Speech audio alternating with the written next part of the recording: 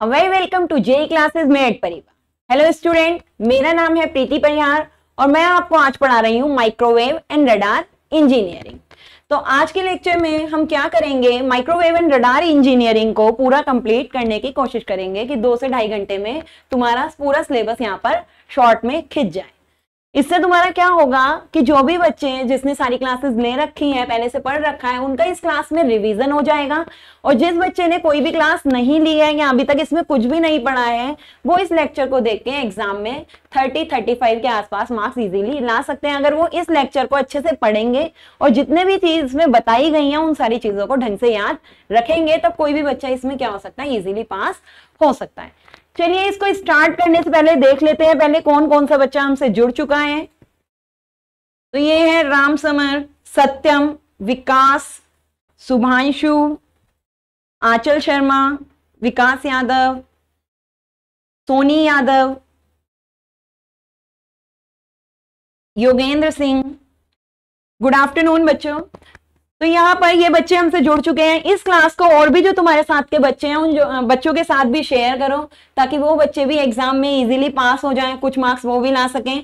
तो जल्दी जल्दी इस क्लास को शेयर करो। जिन बच्चों ने लाइक नहीं करा है लाइक करो कमेंट करो इसमें कि तुम्हें, अगर कोई प्रॉब्लम होगी पढ़ते पढ़ते वो भी तुम इसमें बीच बीच में पूछ सकते हो। जिस बच्चे ने सब्सक्राइब नहीं करा अभी तक ये चैनल वो बच्चे सब्सक्राइब भी कर लें इसको। तो हम यहाँ से, अब आपकी माइक्रोवेव एंड रडार इंजीनियरिंग वाली बुक को स्टार्ट करते हैं। इसमें क्या है? टोटल आपके फाइव यूनिट्स हैं। फ़र्स्ट यूनिट जो है, इसमें क्या बताया गया है? माइक्रोवेव के बारे में बताया गया है कि माइक्रोवेव क्या होती है? माइक्रोवेव कम्युनिकेशन क्या है या माइक्रोवेव फ्रिक्वेंसीज क्या होती हैं? ये सब बताया गया आपको फ़र्स्ट यूनिट में। सेकेंड यूनिट में इससे रिलेटेड कि ये कैसे ट्रांसमिट करी जाती है, वो बताया गया थर्ड में एंटीना और आगे वाली दो यूनिट में इसके यूजेस को बताए गए हैं। तो हम कौन सी यूनिट स्टार्ट करते हैं? यूनिट नंबर वन स्टार्ट करते हैं, जिसमें क्या बताया गया इंट्रोडक्शन टू माइक्रोवेव यहाँ से जो तुम्हारा क्वेश्चन आता है, वो यही आता है कि माइक्रोवेव कम्युनिकेशन या माइक्रोवेव क्या है? माइक्रोवेव फ्रिक्वेंसी के डिफरेंट डिफरेंट बैंड्स क्या है? या माइक्रोवेव की करेक्टरिस्टिक क्या होती है? कि माइक्रोवेव की क्या विशेषताएँ हैं? एक क्वेश्चन इस यूनिट से ये बनता है, या फिर माइक्रोवेव की कुछ डिवाइसेस हैं कि माइक्रोवेव से बनती हुई क्लिस्ट्रॉन और तुम्हारी टी डब्ल्यू टी मैग्नेट्रॉन इनके बारे में क्वेश्चन पूछा जाता है। तो क्वेश्चन इससे ये दो तीन बनते हैं, या तो ये छोटे छोटे टॉपिक आएँगे magnetron klystron T W T या फिर आएगा माइक्रोवेव क्या है, इसकी विशेषताएँ बताओ। तो इसके बारे में हम यहाँ पर पढ़ने वाले हैं। ठीक है? तो माइक्रोवेव होती क्या है? हमने क्या पढ़ा है कि जो भी तुम रेज देखते हो, या कोई भी रेज आती है, या इलेक्ट्रिसिटी है, इन सब में क्या होता है कि कुछ वेव तुम्हारी इलेक्ट्रिसिटी अगर है तो वो करंट के माध्यम से चलती है। ऐसी कुछ रेज ऐसी होती हैं जो तुम्हें दिखती नहीं है, कुछ रेज ऐसी हैं जो हमें दिखती हैं। तो वो वेव जो इलेक्ट्रोमैग्नेटिक फॉर्म में होके चलती हैं। ऐसी वेव्स जो तुम्हारी क्या हो रही हैं इलेक्ट्रोमैग्नेटिक फॉर्म में होके चल रही हैं, जिनकी फ्रीक्वेंसी की रेंज कुछ मेगा हर्ट से 300 मेगा हर्ट से, कुछ गीगा हर्ट्स मतलब 300 गीगा हर्ट्स कह दो 100 गीगा हर्ट्स कह दो, इसके बीच में होती है, वो तुम्हारी क्या कहलाती है माइक्रोवेव कहलाती हैं। नेम में जैसे माइक्रो लिखा है तो ये मत समझना कि ये जो वेव्स हैं, इनकी वेवलेंथ माइक्रो में होगी। वेवलेंथ इनकी माइक्रो में नहीं होती वेवलेंथ इसकी किसमें रहती है? कुछ सेंटीमीटर में रहती है। तो वेवलेंथ अगर कहोगे तो माइक्रो में नहीं कहोगे तो माइक्रो का मतलब वेवलेंथ से नहीं है, बस हाँ क्योंकि इसकी वेवलेंथ बहुत छोटी होती है। फ्रिक्वेंसी इतनी हाई है, जिसकी भी फ्रिक्वेंसी हाई होगी, वहाँ पे फ्रिक्वेंसी कैसी होगी? छोटी होगी तो हाई फ्रिक्वेंसी पे छोटी वेवलेंथ मिलने के कारण इसको क्या कहा जाता है? माइक्रोवेव कहा जाता है। ठीक है? तो हम यहाँ पर क्या करेंगे? माइक्रोवेव के बारे में पढ़ रहे हैं कि माइक्रोवेव क्या है तुम्हारी? ऐसी फ्रीक्वेंसी की रेंज ऐसी इलेक्ट्रोमैग्नेटिक वेव जिसकी जो फ्रीक्वेंसी की रेंज होती है, वो क्या होती है? 300 मेगाहर्ट्ज से लेकर 300 गीगाहर्ट्ज के बीच में होती है। इनकी जो वेवलेंथ होती है, वो क्या होती है? बहुत छोटी होती है सेंटीमीटर में होती है। तो वो वेव तुम्हारी क्या कहलाती है? माइक्रोवेव कहलाती है। ये वेव होती कैसी है? इलेक्ट्रोमैग्नेटिक वेव होती है। कैसी वेव है ये? इलेक्ट्रोमैग्नेटिक वेव होती है ये। कैसी वेव है? ईएम वेव्स ईएम वेव्स तुम्हारी होती क्या है? इलेक्ट्रोमैग्नेटिक वेव होती है जो कैसे चलती हैं? इसमें इलेक्ट्रिक वेव भी होती है और मैग्नेटिक वेव इलेक्ट्रिक वेव भी ऐसी ही चलेंगी और मैग्नेटिक वेव भी होंगी। बस दोनों में अंतर क्या होगा? अगर इलेक्ट्रिक और मैग्नेटिक वेव को देखें, जो इलेक्ट्रिक वेव होंगी, ये अगर इस तरीके से चल रही हैं तो जो मैग्नेटिक वेव होंगी, वो इलेक्ट्रिक वेव के 90 डिग्री पर चलेंगी। तो जो ई e वेव होती हैं, अगर वो इस तरीके से मूव कर रही हैं तो जो एच वेव होगी, वो इससे 90 डिग्री पे मूव करेंगे। तो इलेक्ट्रोमैग्नेटिक वेव क्या होती है? इलेक्ट्रोमैग्नेटिक वेव वो वेव होती हैं, जिसमें इलेक्ट्रिक और मैग्नेटिक वेव आपस में एक दूसरे से 90 डिग्री पर होती हैं और जिस दिशा में ये चल रही हैं, उसको बोलते हैं वेव ऑफ़ प्रोपोगेशन प्रोपोगेशन की दिशा। तो वेव जो चलती है जिस दिशा में, वो होती है प्रोपोगेशन की दिशा। वो जो दिशा होती है, वो इन दोनों से भी कितने पर होगी? 90 डिग्री पर होगी। तो क्या होती है electromagnetic wave? Electromagnetic wave, electrical और मैग्नेटिक वेव होती हैं। ये दोनों वेव आपस में एक दूसरे से 90 डिग्री पर होती हैं और जिस दिशा में ये चलती हैं, उसे हम कहते हैं प्रोपोगेशन की दिशा। वो जो प्रोपोगेशन की दिशा होती है, वो इन दोनों से भी कितने डिग्री पर होती है? नब्बे डिग्री पर होती है। कैसे? मान लो अगर इलेक्ट्रिक वेव ऐसे चल रही है तो मैग्नेटिक वेव इससे कितने डिग्री पर चलेंगी? 90 डिग्री पर चलेंगी। तो इसका मतलब मैग्नेटिक वेव इस तरीके से चलेंगी। इलेक्ट्रिक वेव अगर इस तरीके से चल रही है आगे तो मैग्नेटिक वेव ऐसे 90 डिग्री पर चलेंगी। और जो इनके वेव ऑफ़ प्रोपोगेशन है, कि जिस दिशा में ये बढ़ेंगी, इसी तरीके से वो कैसे बढ़ेंगी? जेड डायरेक्शन में नाइनटी डिग्री तो वेव इसी तरीके से आगे बढ़ेंगी। कि क्या उसका फॉर्मेशन होगा? वेव चलेंगी ऐसे। ये चलेंगी इलेक्ट्रिक वेव ऊपर की तरफ़ चलेगी मैग्नेटिक वेव इस तरीके से चल रही है इलेक्ट्रिक वेव और जो आगे को जा रही है फ्लो कर रही है, वो कैसे जाएँगी? तीसरी डायरेक्शन में जाएँगी। तो ये होती है इलेक्ट्रोमैग्नेटिक वेव ठीक है तो इलेक्ट्रोमैग्नेटिक वेव के बारे में तुम्हें ये पता लग गया कि इलेक्ट्रोमैग्नेटिक वेव क्या होती है? तो क्वेश्चन यही होता है इलेक्ट्रोमैग्नेटिक वेव क्या है, या माइक्रोवेव क्या होती हैं? तो माइक्रोवेव तुम्हारी एक इलेक्ट्रोमैग्नेटिक वेव होती हैं, जिनकी फ्रीक्वेंसी गीगाहर्ट्ज में, और जिनकी वेवलेंथ क्या रहती है? बहुत छोटी रहती है।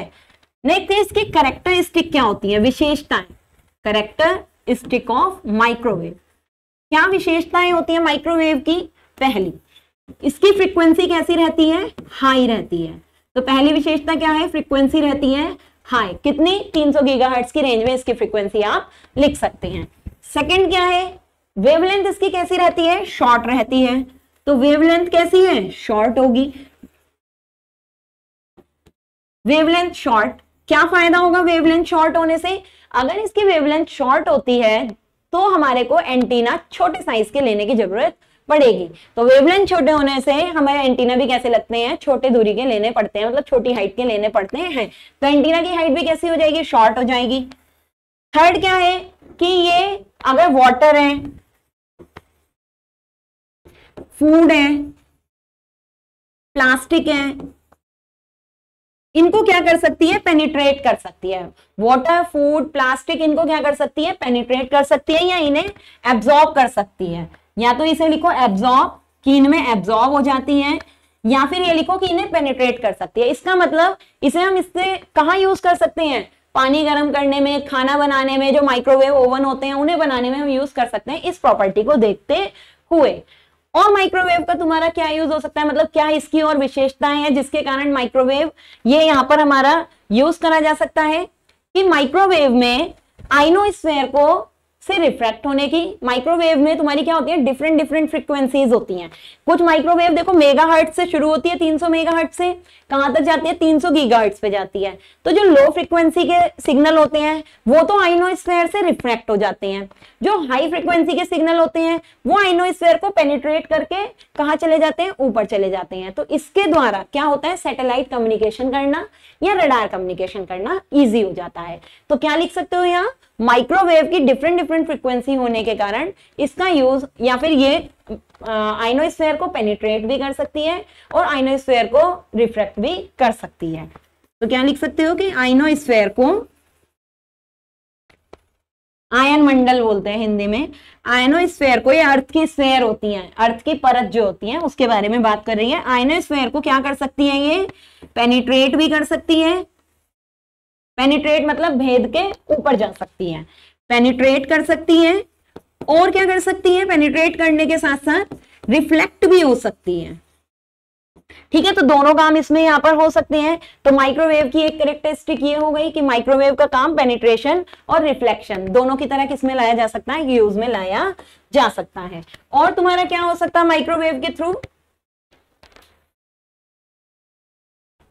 माइक्रोवेव तुम्हारी क्या करती हैं? माइक्रोवेव का यूज़ हम किसमें भी कर सकते हैं? ये मेटल से रिफ्लेक्ट होती हैं।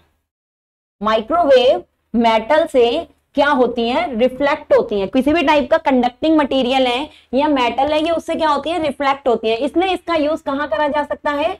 रडार सिस्टम में करा जा सकता है। रडार में इसका यूज़ इसीलिए ही इसका यूज़ हम कहाँ भी करते हैं? रडार में भी करते हैं। और इसकी क्या विशेषता है कि माइक्रोवेव तुम्हारी और क्या चीज़ होती है? ट्रांसमिटिंग पावर मतलब कि इनकी जो लो फ्रीक्वेंसी है, वह हाई फ्रीक्वेंसी है तो हाई फ्रीक्वेंसी पे हम सिग्नल को क्या कर सकते हैं? बहुत लंबी दूरी पर भेज सकते हैं। तो ये माइक्रोवेव की कुछ क्या होती हैं? विशेषताएँ होती हैं। बाकी तुम अभी पूरा ये यूनिट पढ़ोगे या पूरी बुक पढ़ोगे तो तुम्हें जितनी जितनी टॉपिक इसमें पढ़ते जाओगे माइक्रोवेव की तुम्हें क्या मिलती जाएँगी? नई नई विशेषताएँ मिलती जाएँगी। ठीक है? तो ये सब हमने क्या पढ़ी? माइक्रोवेव की विशेषताएँ। अब माइक्रोवेव के यूज़ कि हम माइक्रोवेव पढ़ ही क्यों रहे हैं? क्या यूज़ है? ये एप्लीकेशन है माइक्रोवेव की। तो एप्लीकेशन ऑफ़ माइक्रोवेव कम्युनिकेशन ये माइक्रोवेव ठीक है? क्या है माइक्रोवेव की एप्लीकेशन कि कहाँ कहाँ इसका यूज़ करते हैं? रडार कम्युनिकेशन में। ठीक है? कहाँ यूज़ करते हैं? रडार कम्युनिकेशन में। सैटेलाइट कम्युनिकेशन में। यही दो यूनिट तुम्हारी लास्ट में है। Fourth unit fifth unit uses हैं तुम्हारे। किसमें करते हैं? सैटेलाइट कम्युनिकेशन में।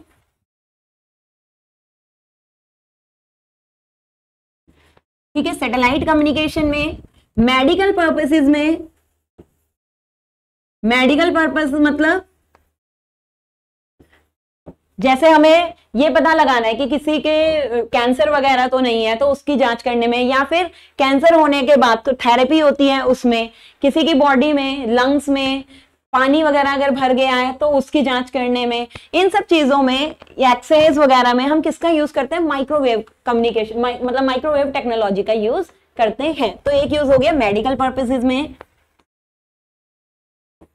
वेदर फोरकास्टिंग में, मौसम विभाग की जानकारी में, ठीक है? वेदर फोरकास्टिंग में वेदर फोरकास्टिंग का मतलब क्या है? मौसम विभाग में।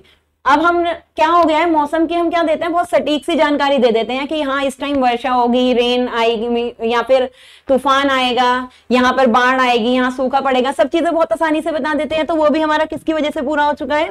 वेदर फोरकास्टिंग की वजह से बहुत ईजी हो गया है।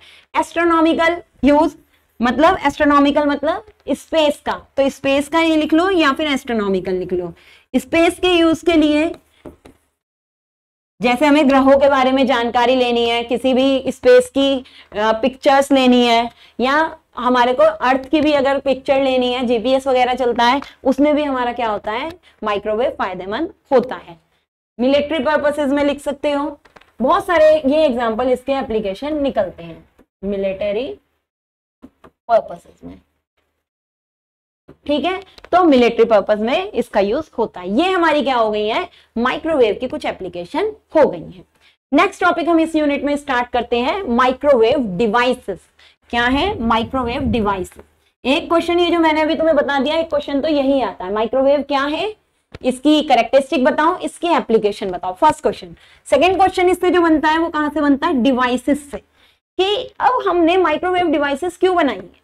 माइक्रोवेव में क्या होता है, जो हम अभी तक डिवाइस पढ़ते थे ना डायोड पढ़ते थे सिंपल वाले, या सिंपल तुम ट्रांजिस्टर पढ़ते थे तो ये इन सब के द्वारा क्या होता है, ये सब माइक्रोवेव पे काम नहीं कर पाती। माइक्रोवेव की फ्रिक्वेंसी इतनी होने के कारण, ये सब इस पे क्या नहीं कर पाती, काम नहीं कर पाती। क्यों काम नहीं कर पाती? क्योंकि माइक्रोवेव की फ्रिक्वेंसी बहुत हाई होती है। बहुत हाई फ्रिक्वेंसी होने के कारण इनके अंदर एक इंटर इलेक्ट्रोड कैपेसिटेंस होता है। जो भी तार जुड़े रहते हैं ना डायोड बनता है ट्रांजिस्टर बनता है, इनकी एक इंटर इलेक्ट्रोड कैपेसिटेंस। क्या होती है? आंतरिक धारिता। आंतरिक धारिता का मान में क्या आ जाता है? चेंज आ जाता है। आंतरिक धारिता के मान में चेंज आने का मतलब क्या है? कि आंतरिक धारिता का मान या फ्रीक्वेंसी का मान बढ़ जाता है। फ्रीक्वेंसी का मान बढ़ता है तो एक्सी का मान क्या हो जाता है? घट जाता है। जिससे एक्सी का मान घटने से सर्किट अपने अंदर ही क्या हो जाता है? शॉर्ट हो जाता है और कोई भी आउटपुट मिल ही नहीं पाता। तो गेन क्या हो जाता है? घट जाता है। तो इंटर इलेक्ट्रोड कैपेसिटेंस का मान बढ़ने से इंडक्टेंस का मान बढ़ने से लीड इंडक्टेंस होता है, वहाँ फ्रीक्वेंसी बढ़ने पे क्या होता है? इंपिडेंस बढ़ता है। तो लीड इंडक्टेंस का मान बढ़ने से और स्किन इफ़ेक्ट के होने के कारण हम क्या करते हैं? माइक्रोवेव में नॉर्मल डिवाइसेस का यूज़ नहीं कर सकते तो माइक्रोवेव की कुछ डिवाइसेस क्या करी जाती हैं? अलग बनाई जाती हैं। ठीक है? तो उन डिवाइस के बारे में हम पढ़ेंगे। कौन कौन से डिवाइस तुम्हारे इसमें हैं? तो इसमें तुम्हारी है सबसे पहले टू कैविटी या मल्टी कैविटी ठीक है? चाहे टू कैविटी का हो या मल्टी कैविटी टू कैविटी या मल्टी कैविटी क्लिस्ट्रॉन। ठीक है टू कैविटी या मल्टी कैविटी क्लिस्ट्रॉन के बारे में यहाँ पर पढ़ते हैं। क्या होता है इसमें? सीधा तुम्हें डायग्राम से ही बताते हैं।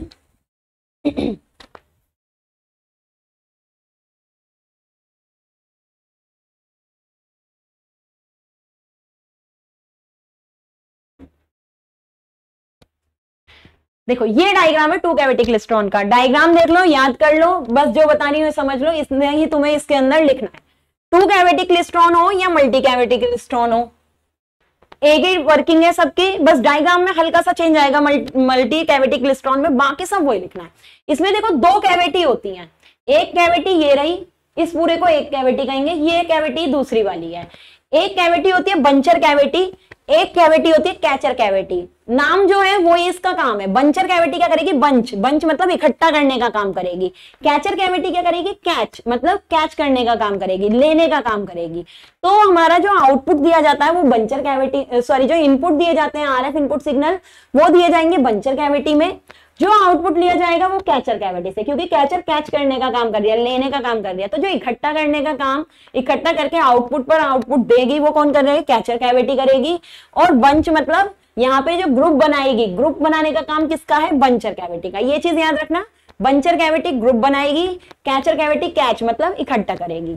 ये तुम्हारी एक क्या होती है? ये एक तुम्हारी ग्लास की ट्यूब होती है, ठीक है?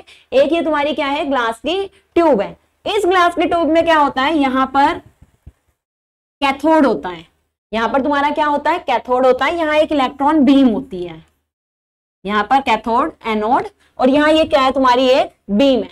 इस बीम से हम क्या करते हैं? इलेक्ट्रॉन जनरेट करते हैं। इलेक्ट्रॉन गन भी इसे तुम यहाँ पर कह सकते हो। तो जैसे ही से यहाँ सप्लाई दी जाती है नोट की रेस्पेक्ट में, यहाँ पर हम क्या देंगे? निगेटिव सप्लाई देंगे। तभी इससे इलेक्ट्रॉन निकलते हैं। तो यहाँ से तुम्हारे इलेक्ट्रॉन जाना शुरू करते हैं। ठीक है? यहाँ से तुम्हारे क्या करेंगे? इलेक्ट्रॉन जाना स्टार्ट करेंगे। तो इसमें एक फोकसिंग इलेक्ट्रोड भी लगाया जाता है। देखो, ये फोकसिंग इलेक्ट्रोड क्यों होता है? ताकि जो इलेक्ट्रॉन गन से इलेक्ट्रॉन निकल रहे हैं, वो फैले नहीं। फैले नहीं, सीधे ही चले। तो इसके लिए क्या लगाया जाता है? यहाँ पर फोकसिंग इलेक्ट्रोड यहाँ पर लगाया जाता है। अब जैसे यहाँ से इलेक्ट्रॉन निकलते हैं तो इलेक्ट्रॉन फोकसिंग इलेक्ट्रॉन से सीधे जाएँगे। वो किसके नीचे से जाते हैं? बंचर कैविटी से जाते हैं। जब वो बंचर कैविटी से जाते हैं, यहाँ पर आरएफ इनपुट सिग्नल दे रखे हैं, ठीक है? जब यहाँ पर आरएफ इनपुट सिग्नल दे रखे हैं तो यहाँ पर होता क्या है कि कुछ इलेक्ट्रॉन ये ऐसे गए ना एक एक करके तो इलेक्ट्रॉन निकल रहे हैं। तो कुछ इलेक्ट्रॉन आगे चल रहे होंगे, कुछ पीछे चल रहे होंगे, कुछ सबसे पीछे चल रहे होंगे। तो जो सबसे आगे चलते हैं, उन्हें हम कहते हैं कि उसकी स्पीड सबसे ज़्यादा है। बीच वालों की स्पीड थोड़ी कम है, पीछे वाले की स्पीड सबसे कम है। ये निकलते हैं बंचर कैविटी से जैसी। जैसे ये बंचर कैविटी से निकलते हैं तो बंचर कैविटी से हमने आरएफ इनपुट सिग्नल दे रखा होता है। आरएफ इनपुट सिग्नल इस तरीके से तुम्हारा इसमें जा रहा होता है। मैंने काफ़ी बड़े उसमें दिखा दिया, आरएफ है, रेडियो फ्रिक्वेंसी सिग्नल है तो बहुत पास पास पास पास ये तुम्हारा रहता है। इलेक्ट्रॉन भी बहुत तेज़ी से जा रहे हैं, पर दिखाने के लिए कि एक आगे, एक पीछे है एक उससे पीछे है ये तुम्हें यहाँ पर दिखा दिया। ठीक है, हमें क्या करना होता है? बंचर कैविटी का काम यहाँ पर ये होता है कि ये जो स्पीड अलग अलग है इनकी इनकी स्पीड को सबको क्या करना है? एक सा करना है, ताकि कैच और कैविटी तक पहुँचते पहुँचते सब क्या हो जाए? एक साथ ही पहुँचे। और एक साथ जब वो पहुँचेंगे तो उस पूरे ग्रुप को ये क्या कर लेगा? बाहर यहाँ पर निकाल लेगा। तो इस तरीके से तुम्हारे इलेक्ट्रॉनों को क्या हो जाएगा? एक साथ वहाँ पर इलेक्ट्रॉन आउटपुट पर पहुँच जाएँगे। सबकी स्पीड क्या हो जाएगी? एक साथ। तो इसी तरीके से ग्रुप ग्रुप करके हम क्या करते हैं? सबकी स्पीड को क्या कर लेते हैं? एक सा कर लेते हैं। होता कैसे है ये? इलेक्ट्रॉन गए बंचर कैविटी के नीचे आरएफ इनपुट सिग्नल आए आरएफ इनपुट सिग्नल इस तरीके से यहाँ पर जा रहे हैं। ये क्या करता है? जब पॉजिटिव वेव आई, यहाँ एक पॉजिटिव सिग्नल आए ज़ीरो सिग्नल आए नेगेटिव सिग्नल आए। होता यहाँ पर क्या है कि एक एक करके जब इलेक्ट्रॉन जा रहे हैं, जब पॉजिटिव वाले पे सबसे पहले वाला इलेक्ट्रॉन गया तो हमने ये माना उस टाइम पे क्या आ रही थी? पॉजिटिव वाली वोल्टेज जा रही थी। जब पॉजिटिव वाली वोल्टेज उस पर जा रही थी तो यहाँ पर जो इलेक्ट्रोमैग्नेटिक फ़ील्ड होता है, वो कैसे बनता है? इस तरीके का बनता है। पॉजिटिव वेव है ना तो पॉजिटिव वेव के टाइम पर यहाँ प्लस होगा, यहाँ माइनस होगा। जबकि जो इलेक्ट्रॉन जा रहे हैं, वो इस टाइम कैसे जा रहे हैं? इलेक्ट्रॉनों का फ़ील्ड ऐसे है। जबकि जो ये फ़ील्ड लगा रहा होगा, वो कैसे लगा रहा होगा? ऐसे लगा रहा होगा। तो इस कारण जो पहला वाला इलेक्ट्रॉन होगा ना, उसकी स्पीड थोड़ी सी क्या हो जाती है? कम। क्यों कम हो गई? क्योंकि जाने वाले इलेक्ट्रॉन पे जो इलेक्ट्रिक फ़ील्ड लग रहा है, वो ऐसे लग रहा है। और जो ऊपर से आर एफ़ इनपुट सिग्नल दिए हैं बंचर कैविटी से, वो जो इलेक्ट्रिक फ़ील्ड दे रही है, वो ऐसे दे रही है। तो दोनों इलेक्ट्रिक फ़ील्ड हो गए अपोजिट जिसके कारण इस इलेक्ट्रॉन की स्पीड थोड़ी सी क्या हो जाती है? घट जाती है। तो घटती हुई स्पीड के साथ ये आगे गया। अब ये स्पीड इसकी थोड़ी सी घट गई, ये धीरे धीरे आगे गया। तो जो भी इलेक्ट्रॉन इस टाइम में जा रहे होंगे, उनकी स्पीड को ये क्या कर देगा? घटा देगा। अब ये बीच वाला इलेक्ट्रॉन पहुँचा इस टाइम पे, जब ये पास कर रहा था ज़ीरो को। तो जो भी ज़ीरो को पास करते टाइम गया तो ज़ीरो का मतलब क्या है? कोई इलेक्ट्रिक फ़ील्ड नहीं। इस टाइम पे यहाँ कोई इलेक्ट्रिक फ़ील्ड नहीं है। तो जो इलेक्ट्रॉन अभी बीच से जा रहा है, ये पहले वाला नंबर पे है, ये दूसरे नंबर पे, ये तीसरे नंबर पे। तो वन गया, वन की स्पीड को इनने क्या कर दिया? स्लो कर दिया। टू गया, टू को इसने क्या करा? कुछ नहीं करा, क्योंकि टू पे कोई फ़र्क नहीं पड़ा। अब जब थ्री गया, जब थ्री गया तो थ्री के टाइम पर क्या होगा? नेगेटिव नेगेटिव मतलब यहाँ माइनस यहाँ प्लस तो थ्री वाले को भी आगे को जा रहा है इलेक्ट्रिक फ़ील्ड। इसकी वजह से भी इलेक्ट्रिक फ़ील्ड आगे है। तो यहाँ पर क्या होगा तुम्हारा? दोनों इलेक्ट्रिक फ़ील्ड जुड़ गए तो इसका मतलब इस पे फोर्स और तेज़ी से लगा तो ये इलेक्ट्रॉन तेज जाएगा।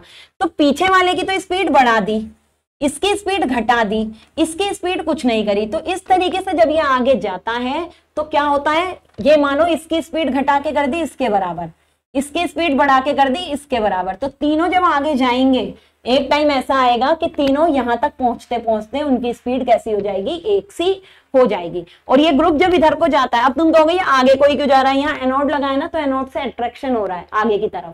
तो इसलिए ये सारे इलेक्ट्रॉन कहाँ जा रहे हैं? आगे की तरफ़ जा रहे हैं। और यहाँ पर मैग्नेट लगा रखी है ताकि ये बीच में ही फोकस रहे।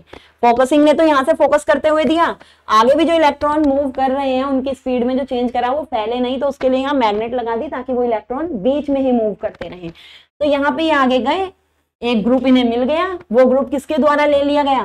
कैचर कैविटी ने केबल से ये लिया और आउटपुट में दे दिया। तो ये हमारा किसका काम है? टू कैविटी क्लिस्ट्रॉन का काम है जो इसके द्वारा होता है। तो अगर हम देखते हैं ना, अब डायग्राम एप्पल गेट डायग्राम बनता है। यहाँ पे तुम्हें एप्पल गेट डायग्राम नहीं बना के दिखा रहे हैं।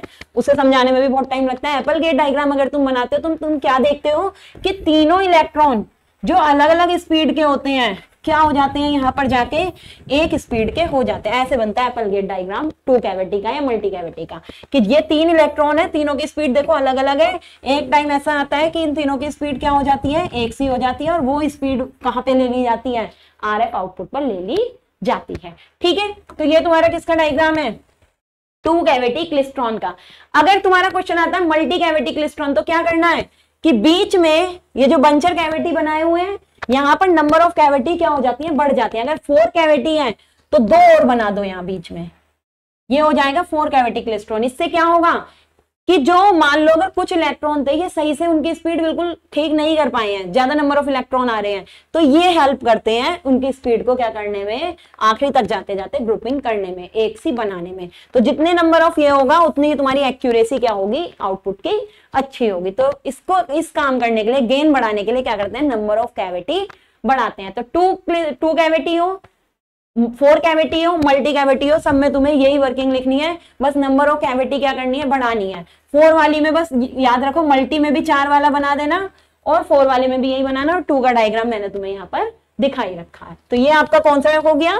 टू कैविटी क्लिस्ट्रॉन नेक्स्ट है, तुम्हारा जो टॉपिक है रिफ्लेक्स क्लिस्ट्रॉन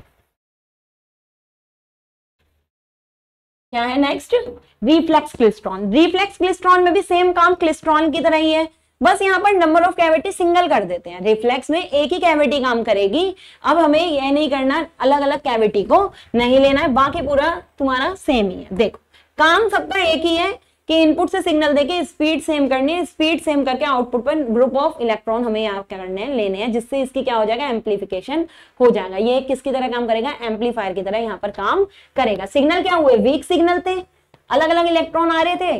तो इसका मतलब सिग्नल की जो पावर थी वो कैसे थी? वीक थे। जब आउटपुट पर ग्रुप ऑफ़ इलेक्ट्रॉन पहुँचे तो सिग्नल पहले से क्या हो गए? एम्पलीफाई हो गए। तो एक तरीके से क्या है? एम्पलीफायर से ठीक है? तो नेक्स्ट है तुम्हारा रिफ्लेक्स क्लिस्ट्रॉन देखो, ये डायग्राम रिफ्लेक्स क्लिस्ट्रॉन का है। रिफ्लेक्स क्लिस्ट्रॉन में क्या हो रहा है यहाँ पर? सेम चीज़, एक ये ट्यूब है। ट्यूब में क्या है? इलेक्ट्रॉन जंक्शन इलेक्ट्रॉन गन यहाँ पर दे रखी है। ये कैथोड है और ये हमारा क्या है? एनोड है। कैथोड पे, और ये तुम्हारा यहाँ पर क्या है? ये रही कैविटी यहाँ पर कैविटी में दो नाम नहीं देना है कैचर या बंचर क्योंकि एक ही कैविटी यहाँ पर क्या करती है? काम करती है। यहाँ पे ये कैविटी है। इसी कैविटी पे यहाँ से हमने एनोड से इनपुट दे दिया। और यहाँ से हमने क्या ले लिया? आउटपुट ले लिया। सिंगल कैविटी यहाँ पर होती है। इसलिए इसे एनोड कैविटी भी कहते हैं, क्योंकि यहाँ एनोड के पॉजिटिव से क्या दिया है? मतलब एक यहाँ पर पॉजिटिव वोल्टेज दी है। अब कैथोड पर यहाँ क्या करना है? कैथोड पर इलेक्ट्रॉन को आगे भेजने के लिए देनी तो माइनस ही पड़ेगी। क्योंकि अगर निगेटिव जब तक नहीं देंगे इलेक्ट्रॉन यहाँ से क्या नहीं होंगे? एमिट नहीं होंगे। तो कैथोड से हमें क्या करने होते हैं? इलेक्ट्रॉनों को एमिट करना होता है और आगे इलेक्ट्रॉनों को भेजना होता है। तो हमने यहाँ पर क्या दिया? निगेटिव दिया। निगेटिव हमने किसकी रेस्पेक्ट में दिया? यहाँ से निगेटिव यहाँ इसको किससे दिया? कैविटी से जोड़ दिया। दूसरी तरफ़ एनोड पे, क्योंकि इनको क्या करना है? खींच के अपनी तरफ़ लाना है। ये इलेक्ट्रॉन जो यहाँ से जा रहे हैं, ये कहाँ आए? अपनी तरफ़ आए। बंजर कैविटी तो पहले आगे भेज रहा था ना। लेकिन अब इस रीजन में लाने के लिए, यहाँ पर हमें क्या लगाना पड़ा? एनोड अब अगर हम यहाँ एनोड पर क्या करेंगे, इस तरीके से एनोड को कनेक्ट करें कि ये यहाँ पर क्या करने का काम करे रिपेल करने का काम करे। यहाँ ये किसका काम करे? एक्सेप्ट लेने का काम नहीं करे, बल्कि किसका काम करे? देने का काम करे। तो यहाँ पर हम इसकी रेस्पेक्ट में इस वाले एनोड टर्मिनल को क्या कर देते हैं? निगेटिव से जोड़ते हैं। जब निगेटिव से जोड़ेंगे, तभी तो वो इलेक्ट्रॉनों को रिपेल करेगा। तो रिपेल करने के लिए यहाँ पर जो इलेक्ट्रोड लगाया जाता है उसे एनोड कैथोड ना कहकर यहाँ क्या नाम दिया गया? रिपेलर कहा गया। तो वहाँ एनोड कैथोड कहे थे, यहाँ पर हमने इसे क्या नाम दिया? रिपेलर रिपेलर क्यों कहा? क्योंकि ये इन इलेक्ट्रॉन को क्या करेगा? रिपेल करेगा। इलेक्ट्रॉन को रिपेल करेगा कब? जब यहाँ पर बैटरी का कौन सा टर्मिनल जुड़ेगा? निगेटिव टर्मिनल जुड़ेगा। तो निगेटिव टर्मिनल जोड़ दिया। अब जो इलेक्ट्रॉन आएँगे, उन इलेक्ट्रॉनों को ये वापस पीछे भेज देगा। इस वजह से इस वाले स्पेस को क्या कहते हैं? रिपेलर स्पेस कहते हैं। विकर्षण वाला जगह कहते हैं यहाँ पर, क्या होंगे इससे? आकर्षित नहीं होंगे, विकर्षित होंगे। ठीक है? तो ये तुम्हारा क्या हो गया? Repeller space. यहाँ देखो ये कैविटी है, सेम चीज़ बताना, जैसे इलेक्ट्रॉन आएँगे, इस कैविटी में तुमने सप्लाई दे रखी है। इलेक्ट्रॉन यहाँ पर आते हैं धीरे धीरे जब इलेक्ट्रॉन यहाँ पर आते हैं तो इलेक्ट्रॉन इसे पार करके आगे चले जाते हैं। जब इलेक्ट्रॉन इसे पार करके आगे जाते हैं तो यहाँ पर रिपेल, इसकी वजह से क्या होता है? रिफ्लेक्टर की वजह से रिपेलर की वजह से ये इससे रिपेल होकर वापस जाते हैं। जब इससे रिपेल होकर वापस जाते हैं तो एक एक करके रिपल्शन सब पे कैसा लगता है? बराबर, जिसकी वजह से वापस जाते जाते, जब ये इलेक्ट्रॉन यहाँ पहुँचते हैं, सबकी स्पीड क्या हो जाती है? एक एक करके इलेक्ट्रॉनों की स्पीड बराबर हो जाती है। कैसे बराबर होती है? सेम चीज़, क्योंकि यहाँ से उन्हें पॉजिटिव सप्लाई एक सप्लाई मिल रही है। सप्लाई मिलने के कारण सेम काम यहाँ भी होगा। यही वाली चीज़ यहाँ भी होती है कि इनपुट सिग्नल जब इसके पास जाते हैं तो इनपुट सिग्नल जाने के बाद जो सिग्नल जो इलेक्ट्रॉन इससे पास हुआ, उसकी स्पीड क्या हो जाएगी? स्लो जो यहाँ से पास हुआ, उसकी स्पीड पे कोई फ़र्क नहीं पड़ेगा। जो यहाँ से पास हुआ, उसकी स्पीड पे स्लो हो जाएगी। जब ये इलेक्ट्रॉन ऐसे ही करके वापस जाते हैं तो यहाँ पे क्या लगा रखा है? रिपेलर लगा रखा है। वो रिपेलर उन इलेक्ट्रॉनों को क्या करता है? रिपेल करके वापस भेज देता है। जो वो रिपेलर इसे वापस भेज रहा होता है तो यहाँ से ट्यूब के द्वारा ये क्या कर लिए जाते हैं? आउटपुट पर ले लिए जाते हैं। तो इस तरीके से आर एफ़ तुम्हारे को यहाँ पर क्या मिल जाता है? रेडियो फ्रिक्वेंसी का आउटपुट मिल जाता है। इसका भी एप्पल गेट डायग्राम बनाओगे तो इसका एप्पल गेट डायग्राम भी ऐसे बनता है कि मान लो ये तीन होते हैं कि एक ये चल रहा है, एक ये वाला चल रहा है, एक ये वाला चल रहा है। तीन अलग अलग इलेक्ट्रॉन चल रहे हैं, लेकिन तीनों जाकर क्या हो जाते हैं एक समय में जाकर? यहाँ पर एक से पहुँच जाते हैं। ये हो गया रिपेलर स्पेस और ये हो गया वो समय जिस पर ये क्या हुए हैं, एक साथ जाकर यहाँ पर पहुँचे हैं। तो ये किसका एप्पल गेट डायग्राम है? ये एप्पल गेट डायग्राम है तुम्हारा रिफ्लेक्स क्लिस्ट्रॉन का। ये वर्किंग हो गई। ये डायग्राम की मान लो ये पहला इलेक्ट्रॉन ये दूसरा इलेक्ट्रॉन ये तीसरा इलेक्ट्रॉन सिर्फ़ तीन तीन इलेक्ट्रॉनों में करके तुम्हें वर्किंग बता रहे हैं। चलते ही वैसे ही है अलग अलग ठीक है? तीन इलेक्ट्रॉन गए धीरे धीरे पहुँचे। ये रिपेलर स्पेस है। जब रिपेलर स्पेस में गए रिपेल होके जब वापस कहाँ पहुँचते हैं? आर एफ़ इस वाली कैविटी पे पहुँचते हैं। तो कैविटी पे पहुँचने के बाद कैचर कैविटी से बोल सकते हो। यहाँ पर कोई नाम नहीं लिखा। इसे क्या कह दो? कैचर कैविटी कैचर कैविटी पे जब पहुँचते हैं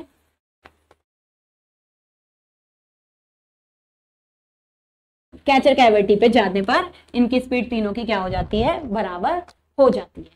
ठीक है? यहाँ जो ये टाइम लेते हैं ना, जाने में, यहाँ पर जो इन्होंने यहाँ पर क्या लिया? टाइम लिया जाने में। तुम इसका ट्रांजिट टाइम भी तुम बोल सकते हो कि कंप्लीट इसने कितना टाइम लिया है यहाँ पर जाने में? ये तुम्हारा कितना होता है? One plus three by four होता है, अगर एक के लिए बात करो।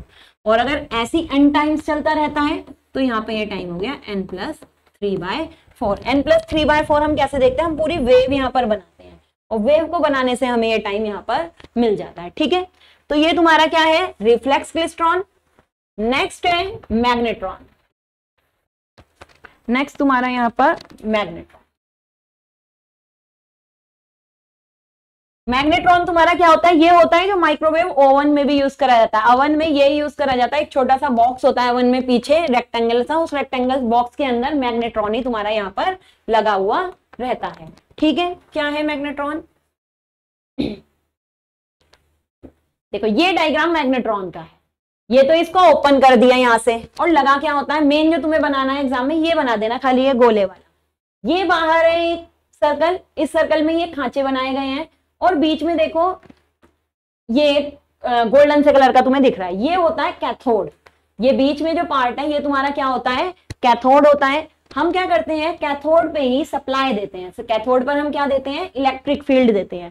कैथोड पे इलेक्ट्रिक फ़ील्ड क्यों देते हैं? यहाँ कैथोड पे इलेक्ट्रिक फ़ील्ड देके हम इलेक्ट्रॉन जनरेट करते हैं। क्या करते हैं? कैथोड पे इलेक्ट्रिक फ़ील्ड देके हम यहाँ कर रहे हैं इलेक्ट्रॉन जनरेट अगर हमने कैथोड पर कोई कैथोड ले लिया, कोई तार ले लिया और उस तार पर सप्लाई दी इलेक्ट्रिक फ़ील्ड जनरेट करा तो इलेक्ट्रॉन उससे निकल निकल के भागने लगते हैं। ये इलेक्ट्रॉन इससे निकल निकल के क्या लगेंगे? भागने लगेंगे। ठीक है? अब हम यहाँ पर क्या करें? ये इलेक्ट्रॉन जाएँगे तो वही कोई चीज़ अगर इसे अट्रैक्ट करेगी, अगर कोई चीज़ अट्रैक्ट ही नहीं कर रही तो ऐसे इलेक्ट्रॉन का मूवमेंट क्या होता रहेगा? इससे चलता रहेगा। तो हम क्या करते हैं, ये जो कैथोड पे इलेक्ट्रिक फ़ील्ड लगाया, इसके चारों ओर एनोड लगा देते हैं। एनोड लगाएँगे तो क्या होगा? इलेक्ट्रॉन इससे निकलेंगे और इसमें एब्जॉर्ब हो जाएँगे। एनोड में जाते रहेंगे, कैथोड से एमिट होते जाएँगे एनोड में जाते रहेंगे। तो ये हमने कैथोड लिया और कैथोड के चारों ओर हमने क्या लगा दिया? एनोड लगा दिया। तो एनोड की स्ट्रक्चर ऐसी क्यों ली, वो भी अभी तुम्हें पता चल जाएगी। तो एक एनोड हमने इसके चारों ओर लगा दिया। अब ये इलेक्ट्रॉन ये फ़ील्ड फैले नहीं। ये फ़ील्ड क्या ना हो, फैले नहीं। तो हम क्या करते हैं, इसके ऊपर और नीचे मैग्नेट लगा देते हैं। तो इसके ऊपर और नीचे।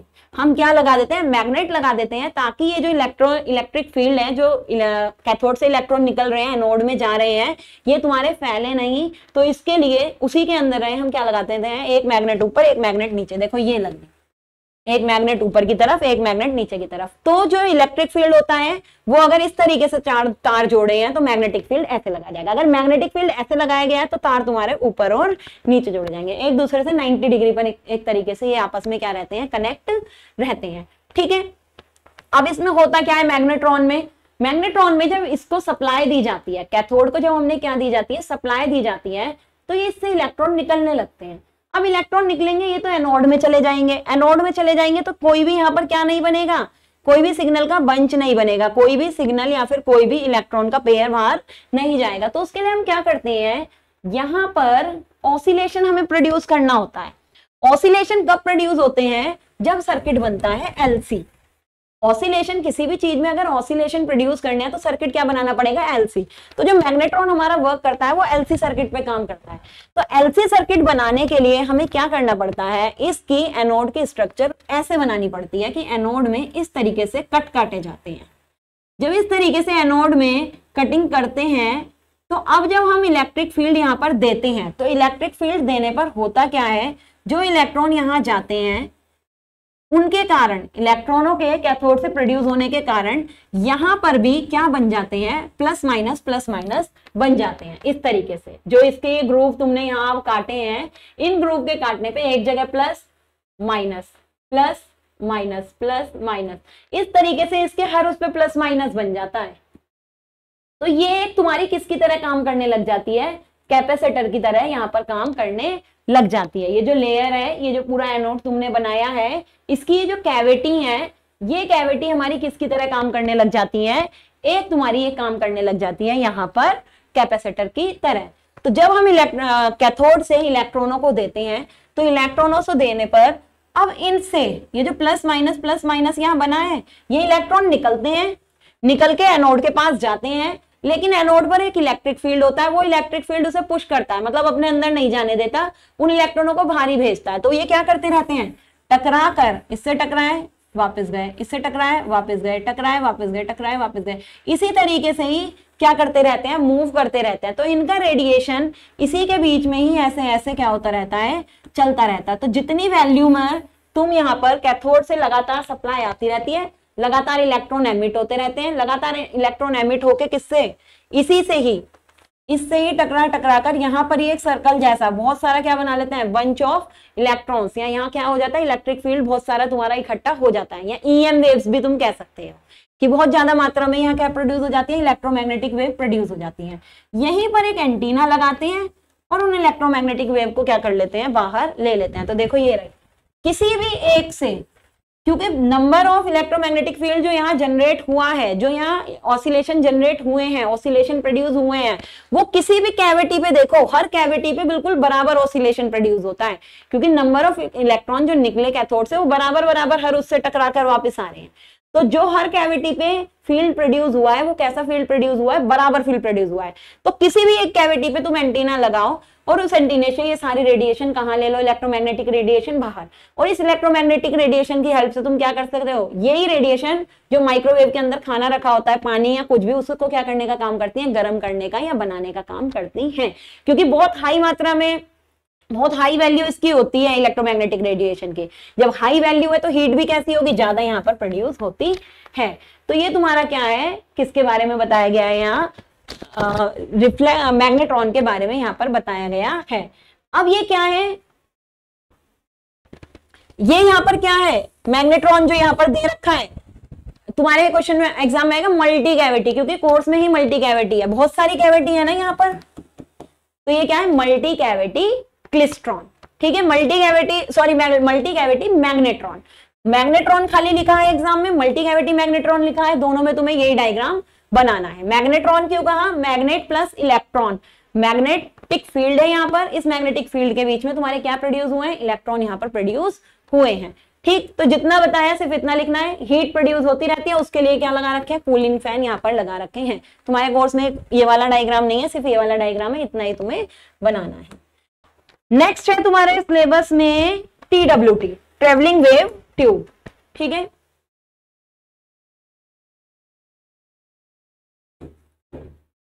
ये है तुम्हारा travelling wave tube T W T travelling wave tube ये क्या है? ये एक तरीके की ट्यूब है। इसमें तुम्हारा फ़ील्ड क्या हो रहा है? एक जगह से दूसरी जगह पे मूव कर रहा है। सेम ये एक तुम्हारी ट्यूब हो गई। ट्यूब के अंदर यहाँ पे कैथोड हो गया। कैथोड से हमें क्या करना है? इलेक्ट्रॉन जनरेट करने हैं। यहाँ पर निगेटिव सप्लाई देंगे। यहाँ पर फोकस से लगे रहते हैं। फोकस क्या करते हैं? इस इलेक्ट्रॉन से जो भी इलेक्ट्रॉन निकलेंगे, उन्हें फोकस करेंगे। फोकस करके यहाँ पर गए। इस ट्यूब में यहाँ क्या बनाई जाती है? ये ट्यूब में हेलिकल पार्ट डाला जाता है। ये हेलिकल ट्यूब बनाई जाती है। इस ट्यूब के अंदर भी एक वायर बनाया जिसे हमने किस फॉर्म में लिया? हेलिकल। हेलिकल फॉर्म में यहाँ से देते हैं आरएफ सिग्नल ये इनपुट देते हैं ना तो यहाँ से हमने क्या दिए आर एफ़ सिग्नल दिए और यहाँ से हम क्या लेते हैं? आर एफ़ आउटपुट लेते हैं। मतलब जो एम्पलीफाई हो गए सिग्नल उन एम्पलीफाई सिग्नल को वहाँ से ले लेते हैं। यहाँ जिन्हें हमें एम्पलीफाई करना है, वो वाले सिग्नल दे देते हैं। ये बनाई जाती है हेलिक्स। हेलिक्स ये क्यों बनाई जाती है? अभी तुम्हें क्या कहा है? जो इलेक्ट्रॉन आएँगे, उन इलेक्ट्रॉनों की स्पीड को सबको बराबर करना है। अगर हम रास्ता जितना टेढ़ा मेढ़ा यहाँ पर बनाएँगे, गोल गोल गोल गोल, उतने इलेक्ट्रॉन जो आएँगे, उनकी स्पीड क्या हो जाती है? धीरे धीरे धीरे धीरे आखिरी तक पहुँचते हैं एक सी हो जाती है। इसलिए हम यहाँ किसका यूज़ करते हैं? हेलिक शेप का यूज़ करते हैं। हेलिक शेप का जब यूज़ करेंगे तो जो उसमें से इलेक्ट्रॉन वेरी करेंगे, उसके अंदर से इलेक्ट्रॉन धीरे धीरे धीरे धीरे जाते हैं तो आखिरी तक पहुँचते पहुँचते उनकी स्पीड क्या हो जाती है? सेम हो जाते हैं। तो हमने यहाँ क्या लिया? हेलिक्स लिया। या ये कहो, इनमें अटेनुएशन आ जाता है इन इलेक्ट्रॉनों में। इनकी पावर क्या हो जाती है? फ़ील्ड से जाते जाते वीक हो जाती है, जिससे आखिरी तक पहुँचते पहुँचते इनकी गति क्या हो जाती है? सेम हो जाती है। तो जब इलेक्ट्रॉन इसके अंदर से यहाँ मूव करते हैं, वो इलेक्ट्रॉन यहाँ जाते हैं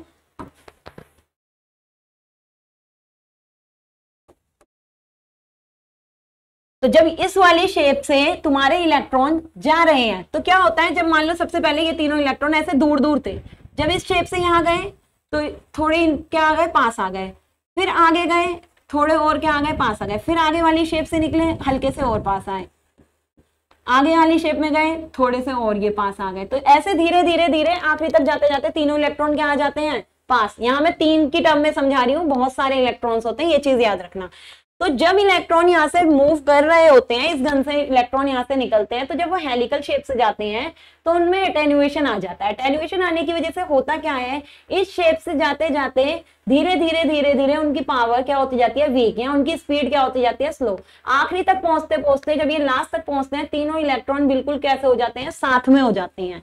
तीनों इलेक्ट्रॉनों की स्पीड क्या हो जाती है? बिल्कुल बराबर हो जाती है। जैसे उनकी स्पीड बराबर हो गई, आउटपुट से वो आ रहा है, आउटपुट तुम्हें मतलब यहाँ पे ज़्यादा एनर्जी के मतलब ज़्यादा इकट्ठे हुए सिग्नल यहाँ पर क्या हो जाते हैं? मिल जाते हैं। पावर तो हम उनकी फिर भी बढ़ा लेते हैं। यहाँ पर क्या बढ़ गया? एम्पलीट्यूड यहाँ बढ़ गया। तो यहाँ पर क्या हो गया? एम्प्लीफिकेशन हो गया। ठीक है? तो जो इलेक्ट्रॉन एक एक करके यहाँ कुछ कुछ इलेक्ट्रॉन आ रहे थे, यहाँ पर इलेक्ट्रॉनों का क्या बन जाता है? ग्रुप बन जाता है। कैसे? कि जो पीछे भी इलेक्ट्रॉन आ रहे होते हैं, उन्हें एक साथ करके इलेक्ट्रॉनों को इकट्ठा कर लेते हैं, जिससे एम्पलीफाई तुम्हारे सिग्नल हो जाते हैं। तो ये तुम्हारा क्या है? T W T travelling wave tube इसमें तुम्हारे जो करियर है, वो ट्रेवल करते करते अपनी स्पीड को क्या कर रही है? स्लो कर रही है। ठीक टी डब्ल्यू टी यहाँ हो गया। नेक्स्ट तुम्हारे हैं डायोड्स ठीक है नेक्स्ट तुम्हारे क्या है? डायोड्स कौन कौन से डायोड तुम्हारे इसमें है? एक इंपैक्ट डायोड है ट्रेपेट डायोड है गन डायोड है। तो सबसे पहले हम पढ़ते हैं impact diode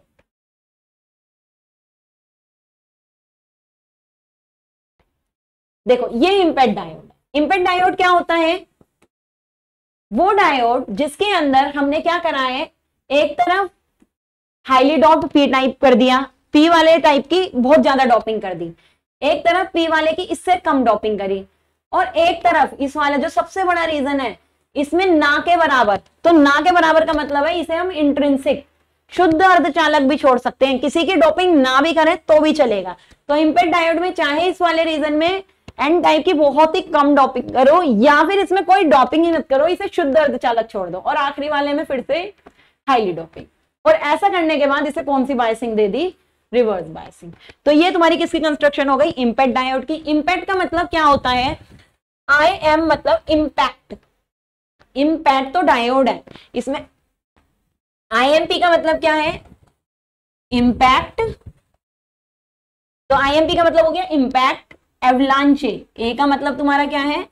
Avalanche T transition time transition time diode. तो ये इसकी फुल फॉर्म है। Impact avalanche transition time diode. इसका मतलब यहाँ पर इंपैक्ट करना है इंपैक्ट विधि से एवलांचे मेथड यूज़ करना है। एवलांचे ब्रेकडाउन होगा इसके अंदर। Transition time diode. Transition time का यूज़ होगा। ट्रांजिशन टाइम मतलब जो करंट और वोल्टेज चलेगी, उनमें आपस में 90 डिग्री का फ़ेज़ शिफ्ट होगा। तो एवलांचे ब्रेकडाउन यूज़ होगा ट्रांजिट टाइम डायोड ये इसके फुल फॉर्म है। किसने ये यूज़ करा जाता है? हाई पावर का बनाने के लिए। ये डायोड तुम्हारे क्या होते हैं? हाई पावर डायोड होते हैं, जो हाई फ्रिक्वेंसी पर ऑपरेट हो सकते हैं। और इनका गेन कैसा रहता है अच्छा रहता है नॉइज़ इसके अंदर कैसी रहती है, कम रहती है। तो जब भी हमें हाई पावर पे हाई फ्रिक्वेंसी पे यूज़ करना हो तो हम किन का यूज़ करते हैं? इम्पैक्ट ट्रेपेट गन डायोड का यूज़ करते हैं। इनका यूज़ किस लिए करते हैं? ऑसिलेशन प्रोड्यूस करने के लिए, या फिर सिग्नल को इनके थ्रू पास कराने के लिए हम इनका यूज़ करते हैं। क्या कंस्ट्रक्शन है? ये देखो डॉपिंग लेवल दिखा रखा है यहाँ भी। हाई डॉपिंग कम डॉपिंग ना के बराबर डॉपिंग फिर से हाई डॉपिंग एन टाइप की। रिवर्स बायस दी यहाँ पे देखो, यही चीज़ें इसमें लिख रखे हैं। ये वाला रीजन जो होता है ना, इस रीजन को बोलते हैं ड्रिफ्ट रीजन कौन सा रीजन है ये? ये रीजन होता है तुम्हारा ड्रिफ्ट रीजन या ड्रिफ्ट स्पेस यहाँ जब सप्लाई देते हैं तो सप्लाई देने पर क्या होती है? यहाँ एक लेयर बन जाती है। कौन सी? यहाँ भी रिवर्स वाइज दी है तो रिवर्स वाइस देने पर यहाँ भी तुम्हारी डिप्लीशन लेयर बनेगी। और ये डिप्लीशन लेयर क्या होती है? जैसे जैसे तुम सप्लाई देते जाते हो डिप्लीशन लेयर का मान क्या होता जाता है? बढ़ता जाता है।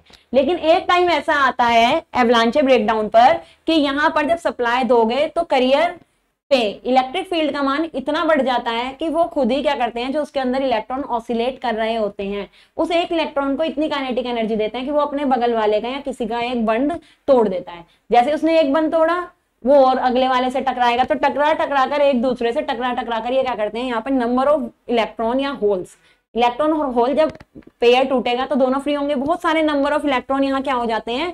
फ्री हो जाते हैं। जब बहुत सारे नंबर ऑफ़ इलेक्ट्रॉन यहाँ फ्री हो जाते हैं तो वो इसमें से मूव करने लगते हैं। जब वो इसमें से मूव करते हैं तो हमें पता है ये रीजन तो बहुत बड़ा है और खाली रीजन है। तो इसमें से धीरे धीरे धीरे धीरे वो मूव करते हैं और धीरे धीरे मूव करते हुए जैसे वो यहाँ पहुँचते हैं तो तेज़ी से इसमें से यहाँ से निकल जाते हैं। ठीक है? तो इस तरीके से ये वाला डायोड तुम्हारा क्या करता है? काम करता है इम्पैक्ट डायोड रिवर्स बायस में काम करता है. हाई पावर पे काम कराना है, इसलिए हमें यहाँ पर क्या बनाना पड़ा? एक ड्रिफ्ट रीजन स्पेस रीजन बनाना पड़ा, ताकि जो हाई सप्लाई इसके अंदर आए उसमें जो इलेक्ट्रॉन होल जनरेट हो, उसकी पावर को ये क्या कर सके? कंज्यूम कर सके. इतने नंबर ऑफ़ हाई इलेक्ट्रॉनों को ये सह सके तो उसके लिए हमें बीच में क्या करना पड़ता है? ज़्यादा रेजिस्टेंस वाला रीजन यहाँ पर देना पड़ता है. तो ये तुम्हारा कौन सा है? इम्पैक्ट डायोड है एवलांचे ब्रेकडाउन इसके अंदर होता है, ठीक है? तो इसलिए इसे एवलांची ब्रेकडाउन कहा। यहाँ जो करंट और वोल्टेज के बीच फ़ेज़ शिफ्ट होता है, वो कितने डिग्री का आता है? 90 डिग्री का आता है तो इसलिए ट्रांजिशन टाइम इसके अंदर दे रखा है। अब वो कैसे 90 डिग्री है क्या है? वो तुम्हें अगर यहाँ बना, बताने लग गए तो बहुत तुम्हारा टाइम यहाँ पर वेस्ट हो जाएगा। तो जल्दी जल्दी से तुम्हें ओवरव्यू दिया जा रहा है सबका। नेक्स्ट है ट्रैपेड डायोड ये देखो, ये ट्रैपेड डायोड होता है चलो, पहले गन डायोड आ गया गन डायोड के बारे में बता देते हैं। ये गन डायोड होता है, इसमें क्या होता है? ये सारा एक ही टाइप के मटेरियल से बनता है। जैसा अभी तक तो पी एन टाइप बन रहे थे गन डायोड सिंगल टाइप के मटेरियल से बनता है। तो डायोड सिर्फ़ हमने इसे नाम दे दिया। रियल में एक डायोड नहीं है, सिर्फ़ मेटल का ही पार्ट है। एन प्लस की टॉपिंग करी। यहाँ पर हम किसकी डोपिंग करते हैं? बहुत कम एन की और यहाँ पर फिर से हाई एन की। और ऊपर और नीचे क्या लगा दिया जाता है? गोल्ड की एक लेयर लगा दी जाती है और हीट सिंक इसके साथ लगा दिया जाता है ताकि अगर हीट प्रोड्यूस हो तो उस हीट को ये क्या कर ले? अपने अंदर एब्जॉर्ब कर ले। अब यहाँ पर सप्लाई दी। एक तरफ़ निगेटिव दी, एक तरफ़ हमने यहाँ पर पॉजिटिव दी। ये जो मोस्टली बनाए जाते हैं, ज़्यादा हीट प्रोड्यूस होने की वजह से गैलियम आर्सेनाइड के बनाए जाते हैं। पहले वाले भी जो अभी इम्पैक्ट डायोड भी बताया था, वो भी सिलिकन या गैलियम आर्सेनाइड के बनाए जाते थे। ये भी तुम्हारे यहाँ किसके बनाए जाते हैं? गैलियम आर्सेनाइड के बनाए जाते हैं। जब तुम इसे सप्लाई देते हो तो जैसे रिवर्स बायस दोगे, क्योंकि देखो निगेटिव में है चाहे इसे रिवर्स बायस कहो पॉजिटिव बायस कहो, कुछ भी यहाँ पर कह सकते हो इलेक्ट्रॉन तो एक ही सप्लाई में जाएँगे। जैसे ही इसे सप्लाई देते हैं, इसमें इलेक्ट्रॉनों का फ्लो तेज़ी से होना शुरू करता है। बीच वाले रीजन में क्या रहती है? ड्रॉपिंग नहीं रहती। तो यहाँ से जब इलेक्ट्रॉन जाएँगे तो कम मात्रा में इलेक्ट्रॉन जाते हैं। एक तरीके से रुकावट का काम करता है। तो जो पावर हाई जनरेट हुई है तो हाई पावर को ये क्या कर लेता है? कंज्यूम सह सकता है उतनी पावर को। तो इसीलिए हमें बीच में क्या करनी पड़ती है? कम डोपिंग की लेयर बीच में डालनी पड़ती है। फिर इलेक्ट्रॉन आगे से मूव होते हुए इसमें क्या करते हैं? जाने शुरू करते हैं। इसमें क्या होता है, बीच में कम लेयर के होने की वजह से। जैसे जैसे इलेक्ट्रॉन इसके अंदर से पास करते हैं, एक टाइम इसमें ऐसा आता है, इसमें जब ये बनाया, ये दो अलग अलग टाइप के मटेरियल से बनाया है ना तो इसके अंदर दो रीजन होते हैं। ये तो तुम्हारा वैलेंस बैंड होता है। वैलेंस बैंड के बाद वैलेंस बैंड के बाद यहाँ दो कंडक्शन बैंड होते हैं गन डायोड में, क्योंकि ये दो टाइप के मटेरियल से मिलके बनाया है तो इसके अंदर दो एनर्जी बैंड होते हैं, एक ये वाला एनर्जी बैंड मतलब ये ये वाला कंडक्शन बैंड और एक ये वाला कंडक्शन बैंड इसमें होता क्या है, जब हम सप्लाई देते हैं ना तो इलेक्ट्रॉन पहले पहले कंडक्शन बैंड में जाते हैं, यहाँ से। जब ये पहले कंडक्शन बैंड में जाते हैं तो वोल्टेज बढ़ाने के साथ साथ इनकी करंट भी बढ़ती है। लेकिन जब इलेक्ट्रॉन को और सप्लाई मिलने लगती है, हम सप्लाई का मान बढ़ाते चले जाते हैं। अब ये पहले वाले कंडक्शन बैंड से दूसरे कंडक्शन बैंड में जाना शुरू करते हैं। जब ये पहले वाले से दूसरे कंडक्शन बैंड में जाते हैं तो क्या होता है कि इलेक्ट्रॉनों के यहाँ पर बहुत सारा मास इकट्ठा हो जाता है। मास मतलब द्रव्यमान। बहुत सारे इलेक्ट्रॉन इकट्ठे हो जाते हैं, जिससे उनकी स्पीड क्या हो जाती है? कम हो जाती है। स्पीड कम हुई तो इसका मतलब करंट की वैल्यू कैसे जानी शुरू हुई? लो तो होता क्या है? कि इस एनर्जी बैंड से जब इलेक्ट्रॉन इस वाले एनर्जी बैंड में मतलब इस वाले कंडक्शन बैंड में पहुँचते हैं तो अब अगर इसके बाद भी तुम वोल्टेज बढ़ाते जाते हो तो जब तक वो इलेक्ट्रॉन इस वाले बैंड में है, उनकी स्पीड क्या रहती है? स्लो रहती है। स्पीड स्लो रहती है तो इस टाइम पे जो करंट का मान होगा, वो कैसा होगा? घट जाएगा। तो यहाँ पर अगर तुम फिर भी वोल्टेज को बढ़ाते जाओ तो करंट का मान तुम्हारा क्या होता रहता है? घटता रहता है। ये कब तक घटता है? ये जब तक घटता है, जब तक कि इलेक्ट्रॉन वापस इस वाले रीजन में नहीं आते। तो जैसे ही इलेक्ट्रॉन फिर उतर के वापस इस वाले रीजन में आते हैं तो सेम फिर से वही काम होने लग गया। फिर से इनकी स्पीड क्या हो जाती है? बढ़ जाती है। तो करंट का मान क्या होने लगता है? बढ़ने लगता है। फिर ये क्या होने लग गया? बढ़ने लग गया। इस वाली प्रॉपर्टी का यूज़ करके हमें क्या मिल जाता है? नेगेटिव रेजिस्टेंस रीजन मिलता है। तो गन डायोड एक कैसा डायोड है? जिसकी प्रॉपर्टी है नेगेटिव रेजिस्टेंस वोल्टेज बढ़ाने पर एक टाइम ऐसा आता है जहाँ हमें करंट का मान कैसे मिलता है? नेगेटिव इस प्रॉपर्टी का यूज़ करके हम इसका क्या बना सकते हैं? ऑसिलेटर बना सकते हैं। तो गन डायोड ने यहाँ पर एक क्या काम करा? ऑसिलेटर की तरह काम करा। तो गन डायोड का यूज़ हम कैसे कर सकते हैं? एज अ ऑसिलेटर कर सकते हैं। लास्ट तुम्हारा इसमें जो है ट्रेपेड डायोड है। ट्रेपेड डायोड भी तुम्हारा सेम क्या होता है? ट्रेपेड डायोड भी सेम बनता है, जैसे तुम्हारा कौन सा डायोड है? इम्पैक्ट डायोड है। बस लेना क्या पड़ता है? तीन टाइप की डॉपिंग यहाँ पर। P plus N N plus इस तरीके से यहाँ पर ये बनता है। इसे बस वोल्टेज सोर्स की जगह है। कौन सा सोर्स दिया जाता है? करंट सोर्स से इसे यहाँ पर धारा दी जाती है। ठीक है? करंट सोर्स से यहाँ धारा दी जाती है। ट्रैपेट नाम है इसका। ट्रैपेट का मतलब क्या है? ट्रैप्ड प्लाज्मा बाकी नाम सेम है एवलांशी ट्रांजिशन टाइप ट्रैप का मतलब क्या है? ट्रैप प्लाज्मा तो यहाँ पर प्लाज्मा उत्पन्न करते हैं एवलांच की हेल्प से। तो इसलिए इसका नाम क्या होता है? ट्रैपेड प्लाज्मा इसका नाम होता है। करंट सोर्स देते हैं करंट सोर्स इसे यहाँ पर दी। यहाँ एवलांचे रीजन बनता है और यहाँ पर ये ड्रिफ्ट रीजन होता है। यहाँ कौन सा रीजन बनता है? एवलांचे रीजन यहाँ कौन सा होता है? ड्रिफ्ट रीजन होता है। जब इसे सप्लाई देते हैं तो ये तुम्हारा क्या होना शुरू करता है? चार्ज होना शुरू करता है। तो इतने टाइम पर इसकी क्या चलती है? चार्जिंग चलती है। चार्जिंग का मतलब अभी यहाँ पर डिप्लीशन रीजन बढ़ती जा रही है। बढ़ती जा रही है, ये एक कैपेसिटर की तरह काम कर रहा है। और यहाँ पर क्या चल रही है? इस टाइम इसकी चार्जिंग चल रही है। कोई एवलांच ब्रेकडाउन अभी यहाँ नहीं हुआ है। जैसे ही अपने इस पॉइंट पर पहुँच जाता है कि इससे ज़्यादा और इलेक्ट्रिक फ़ील्ड यहाँ नहीं होता। तो एकदम से क्या होता है, ये इलेक्ट्रिक फ़ील्ड यहाँ पर एवलांचे ब्रेकडाउन करना स्टार्ट कर रहा होता है। एवलांचे ब्रेकडाउन करने का मतलब यहाँ धीरे धीरे क्या बनते हैं? इलेक्ट्रॉन होल फ्री होना शुरू होते हैं। तो इसका मतलब यहाँ प्लाज्मा का फॉर्मेशन होना शुरू होता है। जब प्लाज्मा का फॉर्मेशन होना मतलब धीरे धीरे धीरे धीरे प्लाज्मा तुम्हारे बढ़ने लगते हैं। बढ़ने का मतलब धीरे धीरे धीरे, यही तो कहा था एवलांच ब्रेकडाउन होते हैं तो एक एक करके बहुत ज़्यादा मात्रा में इलेक्ट्रॉन और होल फ्री हो जाते हैं तो एक एक करके यहाँ इलेक्ट्रॉन और होल यहाँ क्या हो जाते हैं, बहुत ज़्यादा मात्रा में फ्री हो जाते हैं। जब बहुत सारी मात्रा में इलेक्ट्रॉन फ्री होने लगते हैं तो ये वाले रीजन में भी सब आने लगेंगे। तो ये वाला रीजन भी तुम्हारा क्या होने लगेगा? भरने लगेगा तो इसे ही हम बोलते हैं प्लाज्मा का फॉर्मेशन ठीक है? अब क्या होगा? जब ये इलेक्ट्रॉन यहाँ पर इस रीजन में आ जाएँगे, बहुत ज़्यादा नंबर में इलेक्ट्रॉन और होल फ्री होगा, ये इलेक्ट्रॉन इधर इधर जाना शुरू करेंगे। होल है वो, इधर की तरफ़ जाना शुरू करेंगे इलेक्ट्रॉन है वो, इधर की तरफ़ मूव करना यहाँ पर शुरू करते हैं। तो इस एरिया से प्लाज्मा हटने शुरू हुए। इलेक्ट्रॉन और होल के जो पेयर थे, उनकी जो ऊष्मा निकली थी वो यहाँ से हटनी शुरू हुई। तो हम कहते हैं, अब ये प्लाज्मा का एक्सट्रैक्शन यहाँ से शुरू होता है। यहाँ पर प्लाज्मा का कुछ एक्सट्रैक्शन हो जाता है। पर पूरी तरीके से तो अभी सारे गए नहीं होते हैं तो ये है प्लाज्मा का रेजिडुअल, कि जो बचे हुए थे वो भी धीरे धीरे यहाँ से क्या होते हैं, हट जाते हैं। जब ये सारे हट गए तो इसका मतलब क्या हो गया, अब लेयर ये फिर से खाली हो गई। फिर अब धीरे, जब यहाँ सप्लाई फिर देनी शुरू करते हैं, फिर यहाँ पर क्या होती है, डिप्लीशन लेयर बननी मतलब चार्जिंग शुरू होती है तो ये फिर से चार्जिंग दिखा दी। और यहाँ पर उसके बाद ये वाला प्रोसेस बस यहाँ पर ही तुम्हारा क्या हो जाता है, खत्म यहाँ पर हो जाता है। तो इस टाइम पे अगर तुम देखते हो तो वोल्टेज और करंट का यहाँ भी हमें जो फेस शिफ्ट मिलता है, वो एक दूसरे से क्या मिलता है? 90 डिग्री, देखो। यहाँ भी जो वोल्टेज और करंट है, वो एक दूसरे से क्या रहती है? 90 डिग्री पर रहती हैं। यहाँ पर, क्योंकि प्लाज्मा उत्पन्न हुआ है करंट के देकर करंट को देकर हमने यहाँ क्या कह रहा है? प्लाज्मा का फॉर्मेशन करा है। तो इसलिए इसे क्या नाम दे दिया गया है? ट्रैप्ड प्लाज्मा ये क्यों यूज़ होता है? इसका जो गेन होता है एफिशिएंसी वो इम्पैक्ट वाले से कैसी होगी? ज़्यादा होगी। बस इसमें जो बेकार चीज़ होती है, वो इम्पैक्ट वाले से क्या होती है कि जो नॉइज़ होता है नॉइज़ लेवल इसमें ज़्यादा होता है। नॉइज़ का लेवल जो फिगर होती है, वो उसमें क्या रहती है? कम रहती है। बाकी सारी चीज़ किसकी अच्छी रहती है? ट्रैपेट की अच्छी रहती है इम्पैक्टेड नहीं। इम्पैक्ट को कहाँ यूज़ करते हैं? वो 300 गीगाहर्ट्ज तक यूज़ करा जा सकता है। ये बस 3 गीगाहर्ट्ज तक यूज़ करा जा सकता है।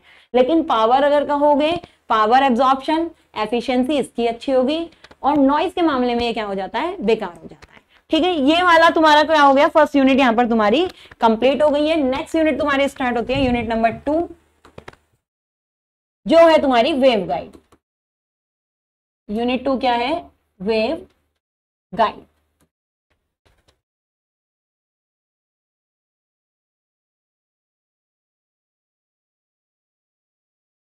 वेव गाइड में तुम्हारे कौन कौन सी वेव गाइड है? रेक्टेंगुलर वेव गाइड होती क्या है? वो पहले शॉर्ट में सुन लो। वेव गाइड ये है कि जो हमारी माइक्रोवेव होती है ना, वो क्या होती है? किसी तार से नहीं जा सकती है, ट्रांसमिशन लाइन से। अब क्योंकि माइक्रोवेव को किसी तार से या ट्रांसमिशन लाइन से नहीं भेजा जा सकता तो उसके लिए एक स्पेशल चीज़ बनानी पड़ती है। उस स्पेशल स्ट्रक्चर को हम क्या कहते हैं? वेव गाइड कहते हैं। ये क्या होती है? मेटल की होलो स्ट्रक्चर होती है। वेव गाइड्स क्या होती है? मेटल की होलो स्ट्रक्चर होती है, जिसके अंदर से हम वेवगाइड को क्या कर सकते हैं, भेज सकते हैं। छोटी छोटी सी स्ट्रक्चर रहती है, बहुत वाइड नहीं रहती हैं तो छोटी छोटी सी स्ट्रक्चर्स रहती हैं मेटल्स की बनाई जाती हैं, होलो बनाई जाती हैं, जिसके अंदर से हम क्या कर सकते हैं वेवगाइड को भेज सकते हैं। वेवगाइड तुम्हारी तीन तरीके की होती है मोस्टली एक रेक्टेंगुलर रहती है और एक तुम्हारी सर्कुलर रहती है। तो जो दो तुम्हारे इसमें, ये दो देख लो और एक तुम्हारी रिज शेप रहती है। कोर्स में तुम्हारी जो वर्किंग है, वो एक ही की है। नाम तुम्हें तीनों के यहाँ दिखा रहे हैं। देखो rectangle waveguide rectangle wave क्या है? इसमें जो मेटल की ली कॉपर की बनाते हैं मोस्टली ताकि कंडक्टिंग अच्छी रहे और उसमें से वेव क्या हो जाए ट्रांसमिट होकर आगे चली जाए। ये रेक्टेंगल वेव गाइड है। यहाँ पर कोई भी एब्जॉर्प्शन ना हो। तो इसके लिए हम क्या करते हैं? वेव गाइड में सतह सतह पर। ये जो पूरी बाहर की वेव गाइड ये पूरी बनी है। ये तो तुम्हारी कंडक्टर की कॉपर वगैरह की बना दी जाती है। लेकिन अंदर एब्जॉर्प्शन ना हो और वेव क्या होती जाए? रिफ्लेक्ट हो होके आगे पास होती जाए, उसके लिए हम क्या करते हैं? इसमें सोने या चांदी की परत चढ़ा देते हैं सारी वेव गाइड के अंदर से। ठीक है? तो ये तुम्हारी रेक्टेंगल वेव गाइड हो गई। जब हमने शेप कैसी ले ली? रेक्टेंगल ले ली। ये सर्कुलर वेव गाइड है। अगर हमने जो होलो ट्यूब बनाई, उसकी स्ट्रक्चर कैसी करी? गोल ये तुम्हारी इलिप्टिकल वेव गाइड है। अगर हमने ट्यूब कैसी बना रखी है? इलिप्स की तरह। दीर्घ वलयकार बना रखी है। एक रिंग की तरह बनाई हुई है। और ये हो गई रिज शेप रिज शेप वाली कैसी रहती है? ऐसे ग्रूव से कटे हुए रहते हैं। रिज दो टाइप की होती है सिंगल रिज और डबल रिज कोर्स में जो तुम पढ़ोगे, वो सिर्फ़ रेक्टेंगल वाले के बारे में पढ़ोगे, और अदर किसी के बारे में यहाँ पर नहीं पढ़ती है। तो ये हो गई वेव गाइड की वेव गाइड कैसे कैसे तुम्हारी होती है, उसके बारे में। नेक्स्ट है तुम्हारा, किस लिए यूज़ होती है वेव गाइड वो भी तुम्हें यहाँ पर बता दिया है। पिन डायोड तुम्हारे कोर्स में नहीं है, इसलिए पिन डायोड नहीं. अच्छा पिन डायोड पिन डायोड चलो लास्ट में बता देंगे पिन डायोड में कुछ नहीं है, एक पी टाइप लेते हैं इसमें पिन डायोड के बारे में शॉर्ट में यही दिखा देते हैं। पी टाइप की डॉपिंग करते हैं एक तरफ़ एक तरफ़ एन टाइप की डॉपिंग करते हैं, बीच में कोई डॉपिंग नहीं करते, शुद्ध सेमीकंडक्टर लेते हैं। रिवर्स बायसिंग देते हैं रिवर्स बायसिंग जैसी देते हैं सेम यहाँ एक डिप्लेशन लेयर बनी होती है। जैसे जैसे सप्लाई बढ़ाते जाते हैं, यहाँ डिप्लेशन लेयर तुम्हारी ऐसी रहती है। बीच में तुम्हारा रीजन इस टाइम पे क्या है? खाली है, कोई सप्लाई नहीं जा रही है। जैसी सप्लाई ब्रेकडाउन से ऊपर पहुँचती है ब्रेकडाउन से जैसे ऊपर पहुंचेगी तो ये वाली डिप्लीशन लेयर भी यहाँ से टूटेगी, ये वाली डिप्लीशन लेयर भी यहाँ से टूटती है। और धीरे धीरे से इसके अंदर से करियर जाने क्या हो जाते हैं? स्टार्ट हो जाते हैं, क्योंकि कोई इसमें चार्जिंग नहीं है, शुद्ध सेमीकंडक्टर है। तो जो करियर का फ्लो रहता है, इसके अंदर से कैसा रहता है? धीरे रहता है। जिस, यहाँ रेजिस्टेंस इस रीजन का क्या रहता है? हाई रहता है, जिससे ये क्या करते हैं, यहाँ पर जो हाई पावर जनरेट हुई है, उससे इस पर कोई इफ़ेक्ट यहाँ पर नहीं पड़ता है। ये पीएन डायोड के बारे में। और डायोड बता दिए थे तो उससे पीएन डायोड इजीली समझ में आ जाता टैलेंट डायोड नहीं है तुम्हारे यहाँ।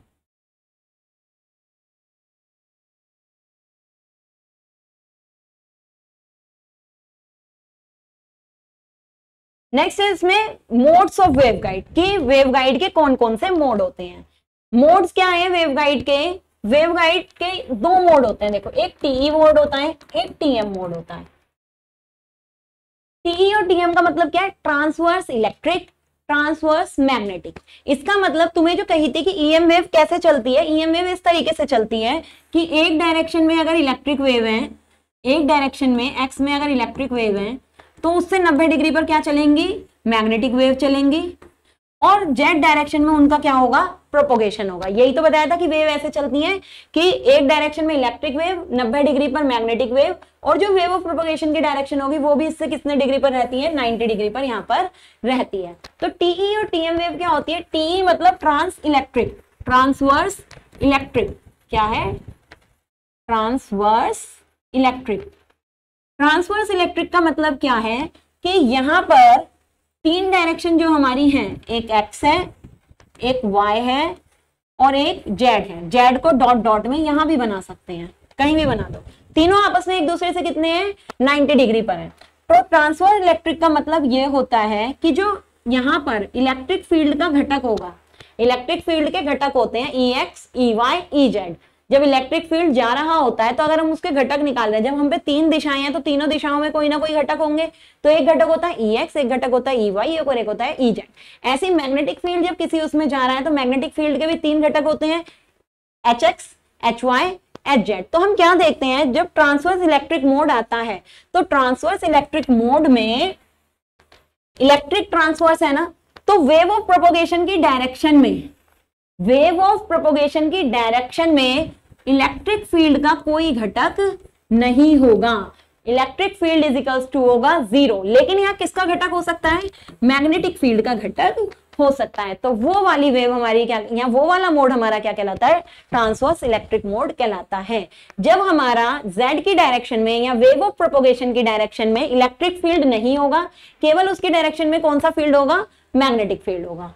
ट्रांसवर्स मैग्नेटिक मोड कौन सा हमारा कहलाता है? अब ट्रांसवर्स इसमें कौन हो गया? मैग्नेटिक हो गया। तो ट्रांसवर्स मैग्नेटिक मोड में टीएम मोड में जेड की डायरेक्शन में हमारा कौन नहीं होगा? इलेक्ट्रिक फ़ील्ड ज़ीरो होगा। इलेक्ट्रिक फ़ील्ड नहीं होगा। लेकिन सॉरी मैग्नेटिक फ़ील्ड नहीं होगा। लेकिन इलेक्ट्रिक फ़ील्ड हो सकता है। तो ट्रांसवर्स मैग्नेटिक में क्या होगा? मैग्नेटिक नहीं होगा, जो नाम के साथ है, वही वाला फ़ील्ड वेव ऑफ़ प्रोपोगेशन की डायरेक्शन में नहीं होगा। तो क्या होता है इसमें? ट्रांसवर्स मैग्नेटिक में? ट्रांसवर्स मैग्नेटिक में तुम्हारा क्या होता है? Magnetic field zero electric field हो सकता है। ट्रांसवर्स इलेक्ट्रिक में electric field zero magnetic field हो सकता है। और अगर टीईएम मोड कोई कहे टीईएम मोड टीईएम मोड क्या है? यहाँ तो ट्रांसवर्स इलेक्ट्रिक भी है ट्रांसवर्स मैग्नेटिक भी है तो यहाँ जेड की डायरेक्शन में ई जेड भी ज़ीरो होता है और एच जेड भी कितना होता है? ज़ीरो होता है। तो ये तुम्हारे क्या है? मोड्स है। मोड्स के बाद तुम्हें यहाँ पे मोड दिखा भी देते हैं कि मोड में दो चीज़ें तुम्हारी होती हैं। देखो, ये है तुम्हारे टीएम मोड और टीई मोड टीएम मोड में जेड की डायरेक्शन ये है। ये जेड की डायरेक्शन है। तो जेड की डायरेक्शन में देखो मैग्नेटिक फ़ील्ड है। ये रेड वाला मैग्नेटिक फ़ील्ड है। लेकिन जो इलेक्ट्रिक फ़ील्ड है, वो इससे 90 डिग्री पर, अपनी एक्स की डायरेक्शन में होगा। ठीक है? जेड की डायरेक्शन में, वो प्रोपोगेशन की डायरेक्शन में मैग्नेटिक फ़ील्ड नहीं होगा। लेकिन अगर टीएम मोड की बात करें तो देखो टीएम मोड ये रही जेड की डायरेक्शन वेव ऑफ़ प्रोपोगेशन की। अब यहाँ इलेक्ट्रिक फ़ील्ड तो है, नीला वाला इलेक्ट्रिक फ़ील्ड है। लेकिन मैग्नेटिक फ़ील्ड अब 90 डिग्री पर है। देखो, इससे 90 डिग्री पर। तो ये तुम्हारे क्या दिखा दिए? टीई और टीएम मोड को बना के भी दिखा दिया कि टीई टीएम मोड में क्या होता है। नेक्स्ट तुम्हारे होते हैं टीई और टीएम मोड में टी ई है या टी एम है। इसमें एम एन होता है। टीई है या टी एम में एम एन होता है। एम एन क्या होता है? ये तुम्हारी हाफ़ वेवलेंथ की वैल्यू होती है। जो तुम्हारी रेक्टेंगल वेव है ये रेक्टेंगल वेवगाइड है। रेक्टेंगल वेवगाइड में चौड़ा वाला पार्ट होता है ए और ये नैरो वाला पार्ट होता है बी तो चौड़े वाले पार्ट में ए वाले पार्ट में वेवलेंथ की हाफ़ साइकिल क्या होती है? M number of half number of cycle of wavelength होता है एम और नैरो वाले पार्ट में नंबर ऑफ़ साइकिल क्या होती है? बी तो वेवलेंथ की जो साइकिल है, उनका जो नंबर है, वो कौन दिखाता है? एम और एन एम वेवलेंथ के साइकिल का नंबर कौन सी फ़ील्ड में, कौन सी दिशा में है कौन से एरिया में दिखाता है? ए में, चौड़े वाले एरिया में। एन किसमें दिखाता है? नैरो वाले एरिया में। वेवलेंथ का मतलब तुम्हारा क्या है? ये जो वेव ऐसे चल रही है। तो अगर इसमें दो वेव ऐसे बना रखी है हाफ़ को दिखाएगा, ये याद रखना हाफ़ में इसीलिए बोल रही थी हाफ़ वेवलेंथ को। कितने नंबर ऑफ़ हाफ़ वेवलेंथ है? ए में वो है एम कितने नंबर ऑफ़ हाफ़ वेवलेंथ है बी में वो है एन तो यहाँ दो है ना तो यहाँ एम का मान कितना हो गया दो।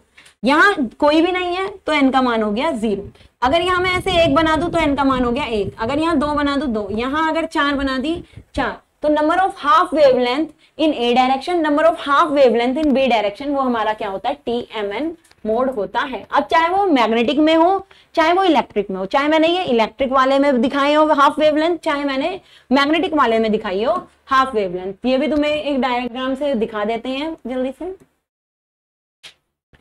ये रहे देखो, ये क्वेश्चन क्योंकि तुम्हारे उसमें आता है T one one one zero one two one ये मोड बताओ। तो इसलिए तुम्हें बता दिया कि T one zero M N mode ये सब क्या है?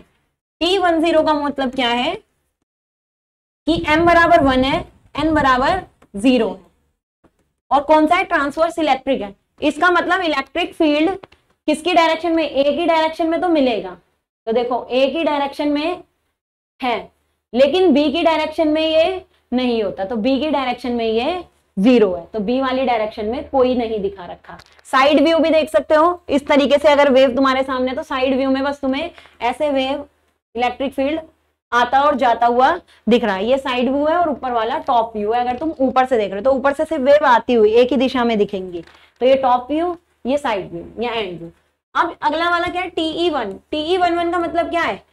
ए वाली डायरेक्शन में भी मिलेगा बी वाली डायरेक्शन में भी मिलेगा। तो देखो ए वाली डायरेक्शन में भी एक वेव दिखा दी बी वाली डायरेक्शन में भी एक वेव दिखा दी। तो ये तुम्हारा क्या है? टीई वन वन जब हाफ़ वेव साइकिल तुम्हें इसमें भी मिले? ए वाली दिशा में भी मिले बी वाली में भी मिले। सही है? ये तो दिखा दिया एंड व्यू और ये साइड से। साइड से तुम्हारे को दो दिखेंगी, दो वेव जाती हुई। मतलब एक इस तरीके की भी होगी और इसकी भी होगी। तो साइड से देखो, ये रही दो। एक, दो। ये साइड वाली भी है मतलब ए वाली भी है बी वाली भी है। ठीक है? तो अगर तुम्हें नंबर देखने हैं ढंग से, वो किससे? एंड व्यू से ही देख सकते हो। ऐसी मैग्नेटिक वाली हो गई। ये मैग्नेट की दे रखी है। T M one one T M one one जो मैग्नेटिक फ़ील्ड है वो तुम्हारा क्या है? एम वाले एम वाले में भी मिलेगा एन वाले में मिलेगा। तो देखो एम वाले में भी दिखा रखा है, एक, और एक एन वाले में भी दिखा रखा है। ऊपर की तरफ़ भी ऐसे जा रही है, और ऐसे भी है। ठीक है? टी का मतलब ये क्या था यहाँ पर? ये तुम्हारा किसमें नहीं होगा? कौन से डायरेक्शन में होगा? जेड डायरेक्शन में क्या होगा ये? ज़ीरो होगा। ये वाला तुम्हारा मैग्नेटिक फ़ील्ड यहाँ पर जेड डायरेक्शन में ज़ीरो होगा। तो ये तुम्हें सारे मोड दिखा दिए ठीक है? ये हो गए तुम्हारे टी एम टू वन मतलब देखो ए वाले में दो दो साइकिल और वन मतलब इस वाले में एक ही चलेगी। तो ये तुम्हारे क्या होते हैं? मोड्स होते हैं वेवगाइड के मोड क्या है? नेक्स्ट है मोड के बाद वेव ऑफ़ प्रोपोगेशन ठीक है? कि वेव ऑफ़ प्रोपोगेशन क्या होता है? या वेव ऑफ़ प्रोपोगेशन कांस्टेंट क्या होता है? जो तुम्हारी वेव किसी दिशा में जा रही है आगे जा रही है। वो उससे क्या कहलाता है? वेव का प्रोपोगेशन कहलाता है कि जो ईएम वेव या माइक्रोवेव जिस दिशा में आगे चल रही है, वो तो वेव ऑफ़ प्रोपोगेशन कहलाया। और जिस पावर से वो आगे चल रही हैं, वो उसका एक, उसके लिए हम क्या दिया जाता है? कांस्टेंट दिया जाता है, जो तुम्हारा क्या कहलाता है? वेव प्रोपोगेशन कांस्टेंट कहा जाता है, उसे प्रेजेंट करा जाता है गामा से। गामा की वैल्यू निकाली जाती है। किन किन चीज़ से एक फॉर्मूला होता है, उससे तुम्हारी गामा की वैल्यू निकाली जाती है। डेरिवेशन तुम्हारे कोर्स में है नहीं, तुम डायरेक्ट इसको फॉर्मूले को यहाँ पर वेव प्रोपोगेशन के लिख सकते हो।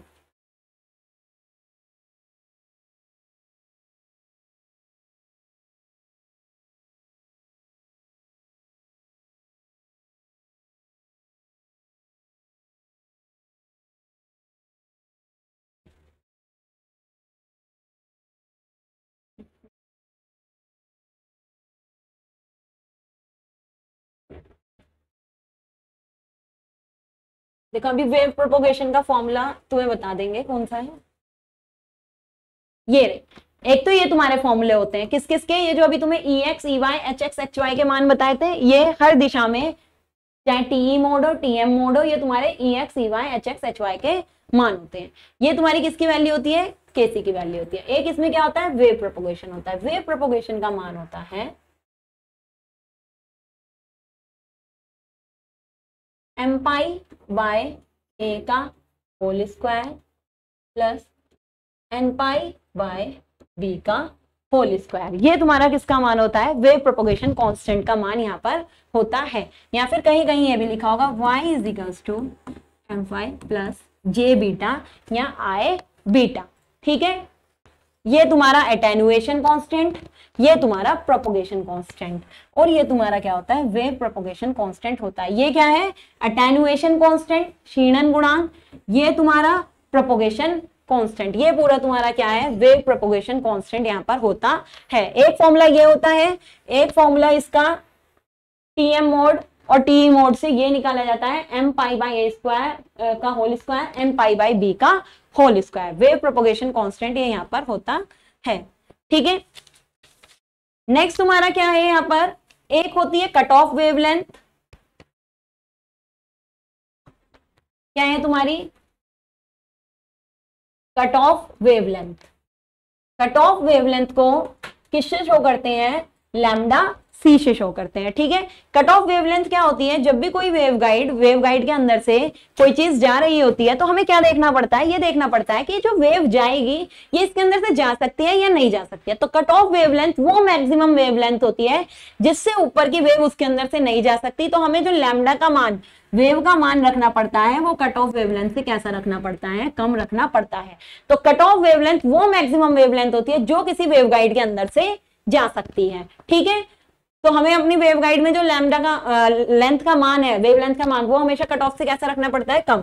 एक होती है cut off frequency cut off frequency कौन सी फ्रीक्वेंसी होती है? ये लैमडा की अपोजिट तुम्हें पता है लैमडा और फ्रीक्वेंसी आपस में कैसे रहते हैं? अपोजिट रहते हैं। तो कट ऑफ़ फ्रीक्वेंसी वो मिनिमम फ्रीक्वेंसी वेवलेंथ तो क्या होती है? मैक्सिमम वेवलेंथ ये क्या होती है? मिनिमम वो मिनिमम फ्रीक्वेंसी जिससे ऊपर के सिग्नल ही वेवगाइड के अंदर से क्या कर सकते हैं? प्रोपोगेट कर सकते हैं। तो इस फ्रीक्वेंसी से नीचे का कोई सिग्नल इस वेवगाइड के अंदर से क्या नहीं कर सकता प्रोपोगेट नहीं कर सकता।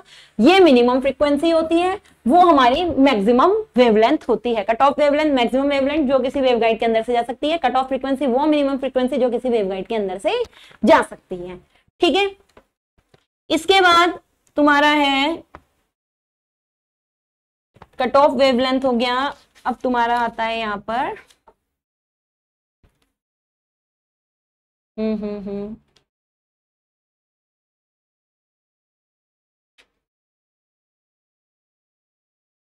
अच्छा कट ऑफ़ वेवलेंथ का फॉर्मूला भी देख लो। खाली अगर फॉर्मूला फॉर्मूला लिखने को आता है two A B upon derivation तुम्हारे कोर्स में बिल्कुल नहीं है, सिर्फ़ यही लिखने को आएगा M square B square N square A square ये होती है कट ऑफ़ वेवलेंथ ठीक है? कट ऑफ़ वेवलेंथ तुम्हारी क्या होती है? Two a b upon m square b square plus n square a square ये उसी फॉर्मूले से निकली है जो अभी वेव ऑफ़ प्रोपोगेशन वाला फॉर्मूला दिया था। ठीक? इसके बाद एक तुम्हारी टर्म होती है वेलोसिटी एक होती है फ़ेज़ वेलोसिटी एक होती है ग्रुप वेलोसिटी एक होती है स्पेस वेलोसिटी फ़ेज़ वेलोसिटी क्या होती है? जिसे हम रिप्रेजेंट करते हैं वीपी से। एक होती है ग्रुप वेलोसिटी इसे प्रेजेंट करते हैं वीजी से। एक होती है स्पेस वेलोसिटी इसे या तो सी से रिप्रेजेंट कर दो या वीसी से रिप्रेजेंट कर दो। क्या होती है ये? जब कोई वेव किसी वेव गाइड के अंदर से जा रही होती है तो उस वेव की जो वेव वे, जो उस वेव का वेग है मतलब वेलोसिटी है जिससे वो किसी वेवगाइड के अंदर जा रही है वो उसकी क्या कहलाती है? फ़ेज़ वेलोसिटी कहलाती है। या फिर किसी एक कोई वेव जब किसी के अंदर जा रही है और एक फेस करने में वो जिस वेग से चल रही है वो उसकी क्या कहलाती है? फ़ेज़ वेलोसिटी कहलाती है। तो फ़ेज़ वेलोसिटी क्या है? कि कोई वेव जिस वेलोसिटी के साथ किसी वेव गाइड के अंदर चल रही है, वो क्या कहलाती है? उसकी वेलोसिटी कहलाती है। या फिर कोई वेव कितने समय में कितनी दूरी तय कर रही है या कितने समय में एक फ़ेज़ को पूरा करती है, वो उसकी क्या कहलाती है? फ़ेज़ वेलोसिटी कहलाती है। वीसी क्या है स्पेस वेलोसिटी स्पेस वेलोसिटी का मतलब है वेव गाइड के बाहर कोई वेव जिस स्पीड से चलती है, वो उसकी क्या कहलाती है? स्पेस वेलोसिटी कहलाती है। मोस्टली ये तुम्हारी लाइट के बराबर होती है। है एक ग्रुप वेलोसिटी ग्रुप वेलोसिटी क्या होती है? जब कोई एक सिंगल वेव किसी वेव गाइड के अंदर चलती है और जब कोई ग्रुप किसी के अंदर चलता है, इसका मतलब हमने अगर मान लो कोई एक करियर सिग्नल सिंपल दिया था कोई एक सिग्नल सिंपल दिया है तो जो उसकी फ़ेज़ वेलोसिटी होगी वो हमेशा ज़्यादा होगी। लेकिन अगर हमने उन्हीं वेव को मॉड्यूलेट कर दिया, अब मॉड्यूलेटेड सिग्नल को हमने उसके अंदर से निकाला तो उनकी वेलोसिटी हमेशा क्या होती है? कम होती है। तो जो मॉड्यूलेटेड सिग्नल की वेलोसिटी होती है, उनकी जो चाल होती है, वो हमारी क्या कहलाती है? ग्रुप वेलोसिटी कहलाती है। ठीक है? तो ग्रुप वेलोसिटी के बारे में यहाँ पे बता दिया है। इसका भी तुम्हें फॉर्मूला बता देते हैं। कि इसका यहाँ पर क्या फॉर्मूला होता है? अच्छा इसमें पीछे एक फॉर्मूला वेवलेंथ के बारे में भी है तो तुम्हें एक फॉर्मूला वेवलेंथ का भी पहले यहाँ पर बता देती हूँ। L G is equals to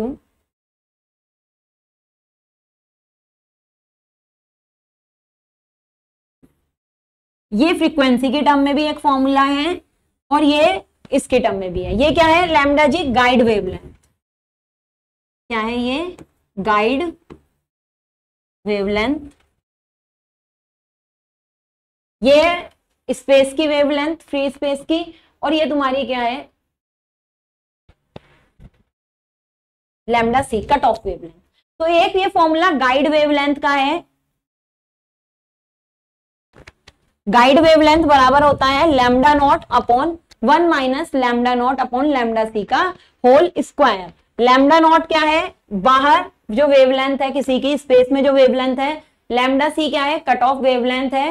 lambda G क्या है? जो इसके अंदर कोई वेव चल रही है, उसकी वेवलेंथ है। मतलब एक चक्कर पूरा करने में जो उसकी वेवलेंथ होगी, वो है। ठीक है? ऐसे जैसे किसी के अंदर गई है। ये सर्कुलर वेवगाइड है। उसके अंदर ये वेवगाइड ऐसे गई है। तो ये जो इसकी लैमडा जी गाइड वेवलेंथ कहलाती है। वेव गाइड के अंदर जो वेव चल रही है उसकी वेवलेंथ गाइड वेवलेंथ ये स्पेस में जो वेव चल रही है, बाहर जो वेव चल रही है, उसकी वेवलेंथ डब्ल्यू लेमडा नॉट और lambda C cut off wavelength वो वेवलेंथ जिससे ज़्यादा की वेव इसके अंदर नहीं जा सकती। तो इनके बीच में एक रिलेशन है lambda G is equals to lambda naught upon one minus lambda naught upon lambda C अगर कोई इन्हीं फ्रीक्वेंसी में कहे तो फ्रीक्वेंसी के फॉर्मूले में बस लैमडा नॉट की जगह लैमडा नॉट नीचे चला जाता है लैमडा सी कहाँ चला, आ जाता है, ऊपर आ जाता है। अगर फ्रीक्वेंसी के टर्म में यहाँ पर ये फॉर्मूला दोगे, उस कंडीशन में। ठीक है? अब एक होता है फ़ेज़ वेलोसिटी का फ़ेज़ वेलोसिटी का भी फॉर्मूला यहाँ पर अगर फ़ेज़ वेलोसिटी का वैसे तुम्हारे इसमें है नहीं, लेकिन फ़ेज़ वेलोसिटी का भी इसी के सेम इसी की तरह हम फॉर्मूला निकाल सकते हैं, ठीक है?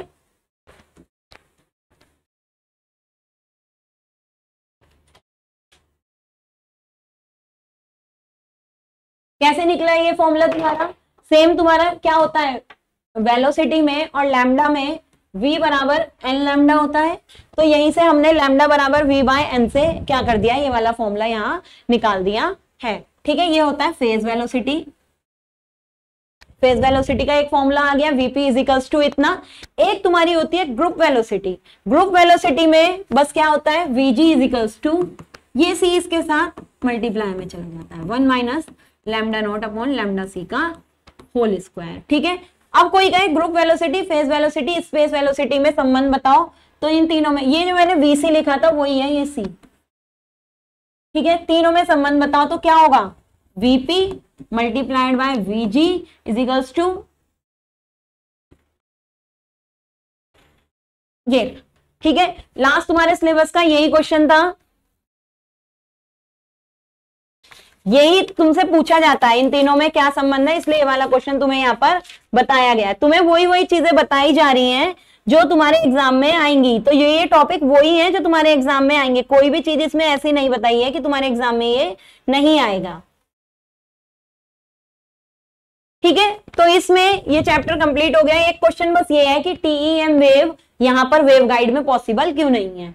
तो टीईएम वेव वेव गाइड में इसलिए पॉसिबल नहीं होती क्योंकि हमने क्या देखा कि यहाँ पर जब हम E X E Y E Z का मान निकालते हैं तो हर इक्वेशन में देखो ई जेड आ रहा है। ई जेड और एच जेड हर इक्वेशन में आता है। टीईएम वेव जो होती है टीईएम वेव में हमें पता है ई जेड और एच जेड का मान कितना होता है? ज़ीरो होता है। तो अगर हम ई जेड और एच जेड की जगह ज़ीरो रख दें तो ये भी ज़ीरो आ जाएगा, ये भी ज़ीरो आ जाएगा, ये भी ज़ीरो आ जाएगा, ये भी ज़ीरो आ जाएगा। तो हम क्या देखते हैं कि वेवगाइड में अगर हम टीईएम मोड का यूज़ करें तो टीईएम मोड में ना तो एक्स की दिशा में कोई रिफ्लेक्शन होगा इलेक्ट्रिक फ़ील्ड का, ना वाई की दिशा में कोई रिफ्लेक्शन होगा इलेक्ट्रिक फ़ील्ड का, ना मैग्नेटिक फ़ील्ड का एक्स की दिशा में रिफ्लेक्शन होगा, ना वाई की में होगा। तो इसलिए टीईएम मोड में क्या होता है कि इसमें कोई भी वेव हमारी क्या नहीं होती? रिफ्लेक्ट नहीं होती। इसलिए टीईएम मोड में हम इसको क्या नहीं कर सकते? यूज़ नहीं कर सकते या टीईएम मोड इसमें क्या नहीं है? पॉसिबल नहीं है। एक क्वेश्चन ये तुम्हारा आता है तो वो यहाँ पर बता दिया। इससे तुम बता सकते हो कि टीईएम मोड का यूज़ इसलिए नहीं करते क्योंकि टीईएम मोड में जो वेव होती है, वो तुम्हारी इसके अंदर क्या नहीं करती? रिफ्लेक्ट नहीं करती। तुम्हें किसी भी दिशा में मैग्नेटिक या इलेक्ट्रिक फ़ील्ड का कोई मान नहीं मिलता। तो रिफ्लेक्शन ना होने के कारण हम इस वाले को क्या नहीं करते? टीईएम मोड में इसको यूज़ नहीं करते। ठीक है नेक्स्ट तुम्हारी यूनिट है unit number three unit number three तुम्हारी क्या है? एंटीना ठीक है? यूनिट नंबर थ्री क्या है? एंटीना इसके बारे में देख लेते हैं जल्दी जल्दी क्या चीज़ इसके में है। देखो यूनिट नंबर थ्री में क्या है कि जो इलेक्ट्रोमैग्नेटिक वेव होती हैं वो तुम्हारी क्या होती हैं? ये मैंने तुम्हें शुरुआत में ही बता दिया कि इलेक्ट्रोमैग्नेटिक वेव क्या होती हैं। ईएम वेव्स होती हैं इसमें एक इलेक्ट्रिक वेव होती है और एक तुम्हारी क्या होती है? मैग्नेटिक वेव होती है। ये तुम्हारी कैसे चलती है? आपस में एक, दूस, एक दूसरे से 90 डिग्री पर चलती है। तो देखो, ये मान लो कोई एंटीना या कोई ऐसी चीज़ दी गई है जिसमें सप्लाई दी गई है। जब इसमें सप्लाई दी जाती है तो इसमें रेडिएशन होता है। रेडिएशन ऐसा होता है बार बार plus minus plus minus plus minus होता है। जब बार बार प्लस माइनस रेडिएशन होता है तो इससे वेव निकलती है। तो वो वेव कुछ इस तरीके की होती है। देखो, ये तो है तुम्हारा एक इलेक्ट्रिक फ़ील्ड और एक ये तुम्हारा है मैग्नेटिक फ़ील्ड दोनों फ़ील्ड आपस में एक दूसरे से कितने पे दिख रहे हैं? नब्बे डिग्री पे दिख रहे हैं ना? तो एक है ये इलेक्ट्रिक फ़ील्ड की दिशा, एक है मैग्नेटिक फ़ील्ड की दिशा और एक तुम्हारी क्या हो गई? वेव ऑफ़ प्रोपोगेशन की दिशा। तो वेव अगर ये पूछे वेव कौन सी दिशा में प्रोपोगेट करती है? तो वेव इलेक्ट्रिक और मैग्नेटिक फ़ील्ड से नब्बे दिशा की दिशा में प्रोपोगेट करती है। तो ये तुम्हारा हो गया propagation of electric magnetic field या इलेक्ट्रोमैग्नेटिक फ़ील्ड कैसे तुम्हारा जनरेट होता है। नेक्स्ट तुम्हारा इसमें आता है फ्रीक्वेंसी बैंड की जो तुम्हारा स्पेक्ट्रम होता है, वो कितने पार्ट में डिवाइड होता है? तो देखो ये तुम्हारा पूरा स्पेक्ट्रम दे दिया, इसे बस तुम्हें पढ़ के जाना है कि तुम्हारी जो पूरी इलेक्ट्रोमैग्नेटिक रेंज होती है, वो तुम्हारी कहाँ से शुरू होती है? रेडियो वेव से शुरू होती है। रेडियो वेव आती है माइक्रोवेव आती है। रेडियो के बाद यहाँ कौन सी वेव आती है? माइक्रोवेव आती है। माइक्रोवेव के बाद इंफ्रारेड फिर visible UV rays X rays gamma rays कहाँ से शुरू होती है ये? ये तुम्हारी फ्रीक्वेंसी की जो रेंज होगी 0.1 मतलब जो हम बोल सकते हैं ऑडिबल रेंज से शुरू होती है, और कहाँ तक जाएगी तुम्हारी? एक्स्ट्रा गीगा टेरा आगे तक ये वाली रेंज जाती है। जो हमें यूज़ करनी है वो कौन सी रेंज होनी है? गीगा हर्ट्स वाली हम यूज़ करते हैं। तो ये पूरी तुम्हारी को एक टेबल दिखा दी विद यूज़ कि जो हमें जो यूज़ करना है वो यहाँ पर यूज़ करना है रडार में telecommunication TV broadcasting FM radio short wave में या एएम में। तो ये तुम्हारे पे क्या है? फ्रीक्वेंसी बैंड का क्लासिफिकेशन अगर ये पूछा जाता है कि फ्रीक्वेंसी बैंड को क्लासिफाइड करो तो वो यहाँ पर तुम्हें बता दिया कि डिफरेंट डिफरेंट फ्रीक्वेंसी इस तरीके से क्या रहती है? क्लासिफाइड रहती है। नेक्स्ट है। एंटीना के बारे में, ठीक है? एंटीना तुम्हारे कौन कौन से हैं वो यहाँ पर देख लो। या एंटीनास क्या होते हैं, वो यहाँ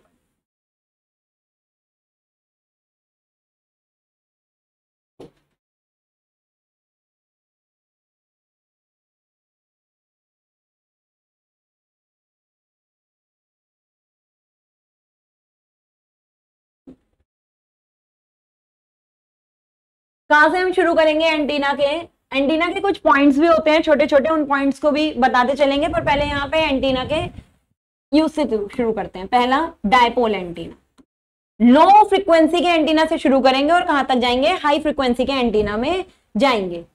ठीक है? पहला है डायपोल एंटीना डायपोल एंटीना तुम्हारा क्या होता है कि इसमें सिंपल यहाँ से मान लो वेव जनरेट हो रही है और इस तरीके से हम क्या लेते हैं? एंटीना की स्ट्रक्चर लेते हैं। इस तरीके की एंटीने की स्ट्रक्चर होती है, देखो वहाँ पर दिखा रखी है। यहाँ पर जो लेंथ लेते हैं, वो हमेशा कितनी लेते हैं? हाफ़ डाइपोल या फिर डाइपोल एंटीना में लेंथ होती है लैमडा बाय टू तो हाफ़ डाइपोल या डाइपोल एंटीने की जो लेंथ लेते हैं, वो कितनी लेते हैं? लैमडा बाय टू लेते हैं। यहाँ से वेव प्रोड्यूस होती है, जो किनारे वाले होते हैं एंगल किनारे पे हमेशा मैक्सिमम ईएमएफ प्रोड्यूस होता है। तो जो वेव प्रोड्यूस होती है, वो इस तरीके से प्रोड्यूस होती है कि मैक्सिमम यहाँ पर रहती है। जिस टाइम यहाँ प्लस है इस तरीके से वेव प्रोड्यूस हुई, देखो। यहाँ क्या होगी उस टाइम पे? माइनस तो ऐसी तो वेव प्रोड्यूस होती है, यहाँ से प्लस प्लस प्लस प्लस जाते हैं और यहाँ से माइनस माइनस जाते हैं। तभी तुम्हारा यहाँ क्या प्रोड्यूस हो जाता है? इलेक्ट्रोमैग्नेटिक फ़ील्ड प्रोड्यूस हो जाता है। तो लैमडा बराबर क्या है? लैमडा बाय टू ये इससे रिफ्लेक्ट करती है। रिफ्लेक्शन के कारण ही वेव तुम्हारी कहाँ होती रहती है? आगे बढ़ती जाती है। ऐसे यहाँ पर प्लस प्लस मतलब एक बार प्लस जाएगा यहाँ, दूसरी बार माइनस प्लस माइनस। तो वेव एक एक करके यहाँ पर क्या होती रहेगी? प्रोड्यूस होती रहेगी। लेकिन प्रोड्यूस होने का तरीका एक ही है। क्या तुम्हारा प्रोड्यूस होने का यहाँ तरीका है? कि किनारों पे हमेशा मैक्सिमम ईएमएफ रहता है। किनारों पे कैसी रहेगी? मैक्सिमम ईएमएफ रहेगा। लैमडा बाय टू लेंथ लिए तो इसका मतलब वेव का केवल एक चौथाई हिस्सा यहाँ आएगा, एक चौथाई हिस्सा यहाँ आएगा।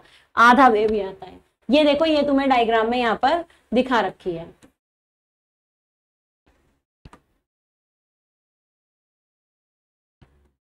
ये रहा एंटीना, यहाँ से सप्लाई दी plus minus plus minus wave produce होती रहेगी। यहाँ पर मैक्सिमम रहता है हमेशा, यहाँ पर तुम्हारा मैक्सिमम रहेगा हमेशा। ये ऐसे आधी वेव प्रोड्यूस होती है एक बार में। तो जिस टाइम पे यहाँ प्लस वाली वेव प्रोड्यूस हो रही है, उस टाइम पे यहाँ पर कैसी हो रही होगी? माइनस जा रही होगी, ठीक है? प्लस माइनस प्लस माइनस तो ऐसे वेव प्रोड्यूस होते होते यहाँ पर इस तरीके से क्या बन जाता है? रेडिएशन पैटर्न बनता रहता है और रेडिएशन पीछे की तरफ़ क्या होती रहती है? जाती जाती है। ठीक है तो ये वाला एंटीना तुम्हारा कौन सा है? हाफ़ डाइपोल एंटीना यहाँ लेंथ कितनी लेनी पड़ती है? यहाँ लेंथ लेनी पड़ती है तुम्हें lambda by two lambda by two यहाँ पर लेंथ लेते हैं। ऐसी रिफ्लेक्शन जैसे जैसे सप्लाई प्रोड्यूस होती जाती है एंटीने के रिफ्लेक्शन के कारण ही जब प्लस के बाद अगली माइनस वेव आएगी तो माइनस वाली वेव प्लस वाली को रिफ्लेक्ट कर देगी। फिर माइनस के बाद प्लस वेव आएगी प्लस वाली अगली को रिफ्लेक्ट करती रहेगी। तो जैसे जैसे प्लस माइनस चेंज होता रहता है, जो वेव यहाँ आती रहती है, वो रिफ्लेक्शन के कारण आगे तुम्हारी पास होती जाती है। बस मेन चीज़ यहाँ क्या रखना है? हाफ़ डाइपोल एंटीने में जो लेंथ लेनी होती है लेंथ हमारी कितनी लेनी होती है? लेमडा बाय टू इतनी लेंथ लेंगे तभी यहाँ पर इलेक्ट्रोमैग्नेटिक रेडिएशन हो पाएगा। अगर एल बराबर लैमडा ले लिया तो यहाँ पर इलेक्ट्रोमैग्नेटिक रेडिएशन नहीं होता है। ठीक है? नेक्स्ट तुम्हारा जो एंटीना है नेक्स्ट एंटीना कौन सा है? Ground wave antenna ground wave antenna में क्या होता है? सेम हाफ़ डाइपोल एंटीना की तरह ही हमें इमेजिन करना है, लेकिन इमेजिन कैसे करना है? अब जो तुम्हारी ग्राउंड होगी, वो ग्राउंड किसकी तरह काम करेगी? आधे एंटीना की तरह काम करेगी। तो जो टोटल लेंथ माननी है, वो अभी total length lambda by two है, लेकिन जो रियल में लेंथ होती है, वो कौन सी होती है? लैमडा बाय फोर ही होती है। रियल लेंथ कितनी होती है? यहाँ भी इसकी लैमडा बाय फोर ही होती है। टोटल लेंथ इसकी कितनी है? लैमडा बाय टू है। तो टोटल लेंथ क्योंकि लैमडा बाय टू है तो उस हिसाब से यहाँ पर जो अर्थ है वो किसका काम करती है? रिफ्लेक्शन का काम करती है। तो बाकी यहाँ से एंटीना ग्राउंड रहता है। अभी जो तुम्हें एंटीना दिखाया था ना, सिर्फ़ इतना एंटीना काम करता है। नीचे वाला हिस्सा क्या रहता है? ग्राउंड रहता है। तो जो वेव अभी भी ऐसे ही प्रोड्यूस होगी, लेकिन ये दूरी अब तुम्हारी कितनी हो जाएगी? लैमडा बाय फोर हो जाएगी। पूरी दूरी तुम्हारी अभी भी कितनी है? लैमडा बाय टू ही है तो आधा हम इमेजिन करते हैं अर्थ को, क्योंकि अर्थ तुम्हारी क्या है कंडक्टिंग सरफेस ही है तो आधी ये किसकी तरह काम करती है रिफ्लेक्शन की तरह काम करती है तो जो वेव होती है वो तुम्हारी कहाँ से रिफ्लेक्ट होती है? यहीं से ही। आधी जो एक वेव है तुम्हारी डायरेक्ट वेव यहाँ से आ रही है, यहाँ से टकराएँगी, ज़मीन से रिफ्लेक्ट होकर आगे की तरफ़ जाएँगी। तो ये तुम्हारा क्या होता है? ग्राउंड वेव एंटीना है। ग्राउंड वेव एंटीना में ग्राउंड तुम्हारा रिफ्लेक्शन का काम कर रहा है। जो आधी वेव प्रोड्यूस कर रहा है इमेजिनरी वो तुम्हारा ग्राउंड ही यहाँ पर क्या करता है? काम करता है। तो देखो ग्राउंड की तरह ही सारी चीज़ें क्या हो रही है? यहाँ पर प्रोड्यूस हो रही है। तो सेम तुम्हारा किस एंटीने की तरह ही है? नॉर्मल एंटीने की तरह ही है। बस हमें क्या करना है कि यहाँ लैमडा बराबर एल बराबर होता है लैमडा बाय फोर तो जो आधा लेंथ है, आधी वेव लेंथ है, वो हमारा क्या है? ग्राउंड वर्क कर रहा है यहाँ पर, किसकी तरह है? एक आधे एंटीने की तरह ग्राउंड वर्क कर रहा है। तो आधी लेंथ हमारी इमेजनरी है। है लेंथ लेमडा बाय फोर लेकिन हम मानेंगे लेमडा बाय टू आधी लेंथ क्या होती है? इमेजनरी होती है। आधा एंटीना हम किसकी तरह वर्क कर रहे हैं? ग्राउंड की तरह वर्क यहाँ पर हो रहा है। ये सारे लो अल्ट्रा लो लो और तुम्हारे कौन सी में? मीडियम फ्रीक्वेंसी रेंज के होते हैं। हाई फ्रीक्वेंसी रेंज के नहीं है। ग्राउंड है डायपोल है। ये तुम्हारे सारे किसमें आते हैं? मीडियम या लो फ्रिक्वेंसी रेंज के एंटीना यहाँ पर आते हैं। नेक्स्ट एंटीना तुम्हारा है half dipole ground crane Yagi Uda antenna. Yagi Uda antenna सबसे ज़्यादा देखा होगा, ये टीवी कम्युनिकेशन में यूज़ होता है।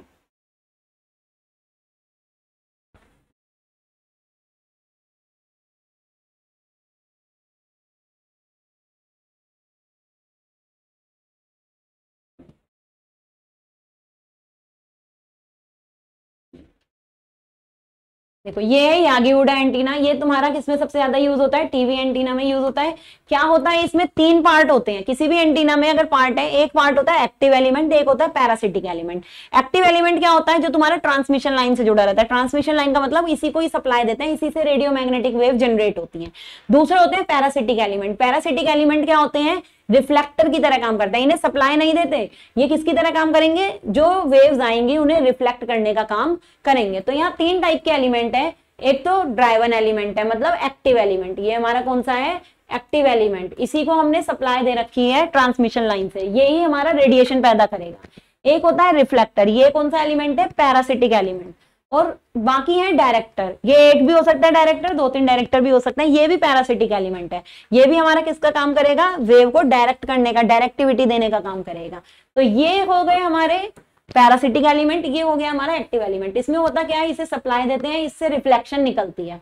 इससे जब रिफ्लेक्शन निकलती है, वो किस पे जाती है? रिफ्लेक्टर पे। रिफ्लेक्टर वेव को क्या करती है? पीछे की तरफ़ रिफ्लेक्ट करती है। इस तरीके से इनको क्या करेगी? पीछे की तरफ़ रिफ्लेक्ट जब ये वेव डायरेक्टर से होके जाएँगे डायरेक्टर इन्हें क्या करेगा? एक दिशा में डायरेक्ट कर देगा। मतलब इनकी डायरेक्टिविटी को बढ़ा देगा, जिससे गेन क्या हो जाएगा? बढ़ जाएगा। अगला डायरेक्टर और इससे छोटा है, वो और इसको और एक तरफ़ एक दिशा में करना। जितना जितना ज़्यादा ये एक दिशा में होते जाएँगे, उनकी डायरेक्टिविटी क्या होती जाएगी? यहाँ पर अच्छी होती जाती है। तो ये है यागी उड़ा एंटीना की वर्किंग क्या होता है इसमें?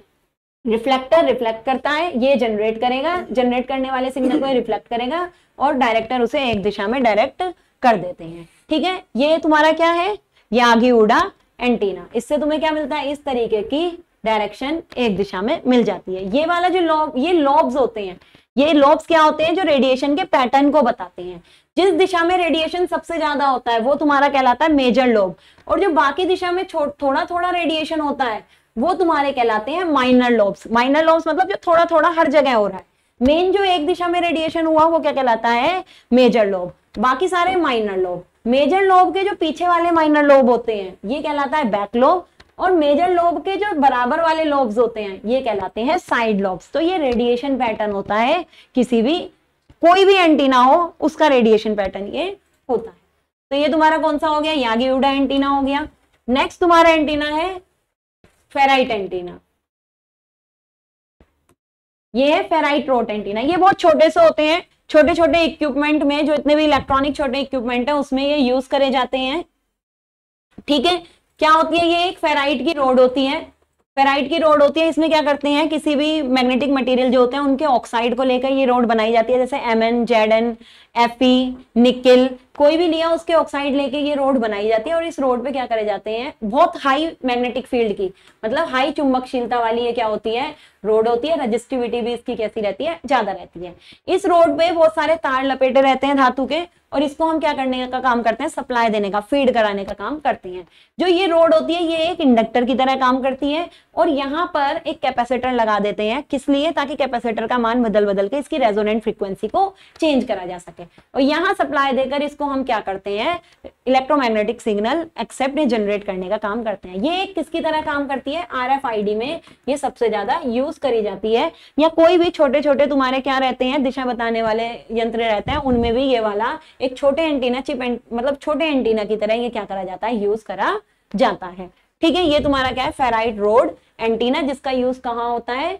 Uh, सबसे ज़्यादा रिसीविंग एंटीना पोर्टेबल जो चीज़ एक जगह से दूसरी जगह जा सकती है वहाँ पे जिस एंटीने का यूज़ करा जाता है वो हमारे कौन होते हैं फेराइट रोड एंटीना होते हैं। इतने ही छोटे बहुत छोटे साइज़ में ये होते हैं जो डिवाइसेस में भी लगे रहते हैं। ठीक है?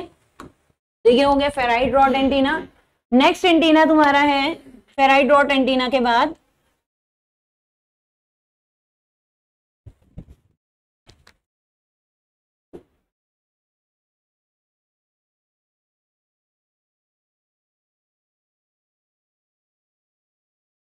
रोम्बिक एंटीना तुम्हारा अगला एंटीना है। ठीक है, ये अब तुम्हारे कौन से एंटीना आ गए हैं? हाई वाले। जिनकी फ्रीक्वेंसी क्या रहती है? हाई फ्रीक्वेंसी रहती है तो उसमें आते हैं तुम्हारे roaming antenna, lens antenna, parabolic antenna, horn antenna. तो अब ये तुम्हारे रोम्बिक एंटीना है। कौन सा है? Rhombic antenna. रोम्बिक एंटीना क्या होता है? इसकी शेप हम रोम्बस की तरह बनाते हैं या डायमंड की तरह बनाते हैं और इस तरीके से हॉरिजॉन्टली ये लगाया जाता है। ऐसे लगाया जाता है कहीं भी और एक हॉरिजॉन्टल इसका क्या होता है? वर्टिकल पोल होता है। ये पोल है, देखो, इस पोल से ये एंटीना ऐसे लगा दिया गया है। ठीक है? कैसा होता है? डायमंड की शेप में ये लगाया जाता है। किसी ना किसी एंगल लेंथ इनकी डिसाइड करी जाती है। ये लेंथ इस, ये देख के डिसाइड करी जाती है कि डायरेक्टिविटी का पैटर्न हमारा इस तरीके से, किसी एक डायरेक्शन में इसका रेडिएशन मिल जाए तो ये सब देख के इसकी लेंथ और ये जो एंगल है, ये टिल्ट एंगल होता है, इस टिल्ट एंगल को इसी हिसाब से रखा जाता है कि रेडिएशन एक ही दिशा में हमें क्या हो सके, मिल सके। ठीक है? तो ये तुम्हारा रोम्बिक एंटीना है। जब इसमें हम सप्लाई देते हैं यहाँ पर तो तुम्हारा रेडिएशन इस तरीके से मिलता है। तो जो ओवरऑल रेडिएशन मिलता है, वो कुछ इस तरीके का यहाँ पर मिल जाता है ओवरऑल रेडिएशन और जो साइड वाले लोब है, वो तो मिलेंगे ही, क्योंकि इन सब के भी साइड में तो कुछ ना कुछ रेडिएशन हुआ होगा तो साइड वाले लोब हमें यहाँ पर मिलते ही हैं। ठीक है? रोमबस एंटीना क्यों यूज़ करा? ज़्यादा अच्छी डायरेक्टिविटी लेने के लिए, ताकि हाई फ्रिक्वेंसी पे अच्छी डायरेक्टिविटी हमें क्या हो सके, मिल सके। तो इसलिए ये सारे यूनिडायरेक्शनल है, एक ही दिशा में। ये क्या करता है हमें? एक ही दिशा में पैटर्न बनाने का काम यहाँ पर करता है। तो ये हमारा कौन सा हो गया? रोमिक एंटीना कौन सी शेप में होता है? रोम्बस की शेप में होता है। चार अलग अलग पॉइंट होते हैं। उन चारों को किसी एंगल पर आपस में जोड़ देते हैं। एंगल ये देखकर लगाया जाता है कि हमारा जो रेडिएशन हो, उसकी क्या हो सके? किसी एक दिशा में ज़्यादा से ज़्यादा रेडिएशन मिल सके। तो इससे हमें एक नैरो रेडिएशन एक दिशा में मिल जाता है। जितना नैरो रेडिएशन एक दिशा में होगा, उतना हमारा रेडिएशन को हम ज़्यादा यूज़ कर पाएँगे। माइनर लॉब उतने ही हमारे क्या होंगे? यहाँ पर कम होंगे। ठीक है? नेक्स्ट एंटीना हमारा आता है रोमबस एंटीना के बाद, lens antenna.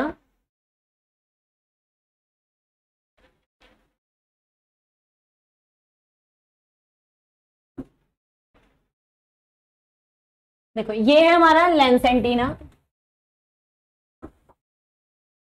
Lens antenna. Lens antenna हमारा क्या होता है? इसमें एक लेंस लगाया जाता है। सब कुछ सेम वैसे ही होगा।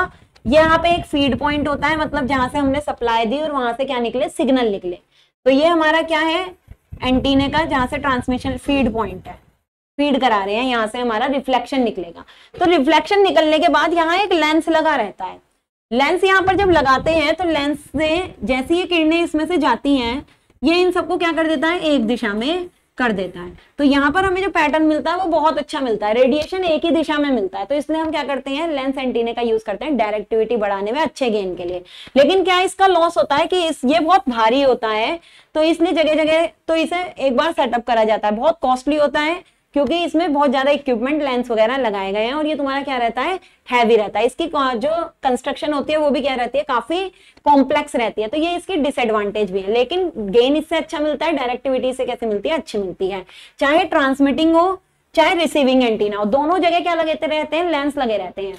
ये वाला ट्रांसमिटिंग एंटीना पे है। जब हमने सप्लाई दी रेडिएशन दिया तो रेडिएशन जब इस लेंस में से जाता है, उस सारे रेडिएशन को क्या कर देता है? ये सिंगल डायरेक्शन में यहाँ पर कर देता है। ऐसी जब रिसीविंग पर बाहर से किरणें आती हैं इस पे तो जैसी बाहर से इस पे किरणें आती हैं, उन सबको ये क्या कर देता है? किसी एक फोकल पॉइंट पर ले जाकर एक जगह पर कर देता है। तो ये किसका काम होता है? लेंस एंटीने का काम होता है।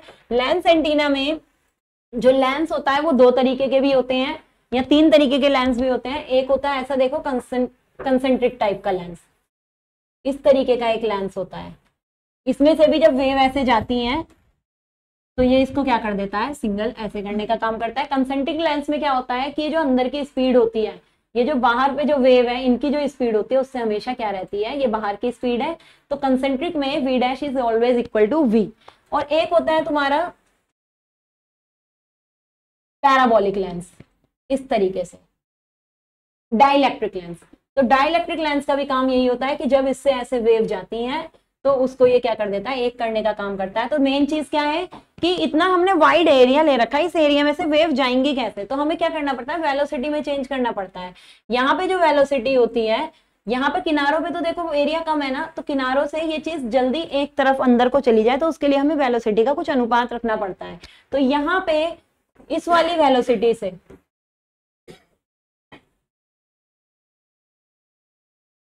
यहाँ पर वी डैश का मान छोटा होता है, क्योंकि यहाँ किनारों पर एरिया कैसा है? पतला है। यहाँ किनारों पर एरिया वाइड होता है तो इसलिए अंदर वाली जो वेलोसिटी होती है मटेरियल ऐसा लेना पड़ता है कि अंदर जो वेलोसिटी है, उसका मान ज़्यादा हो किससे?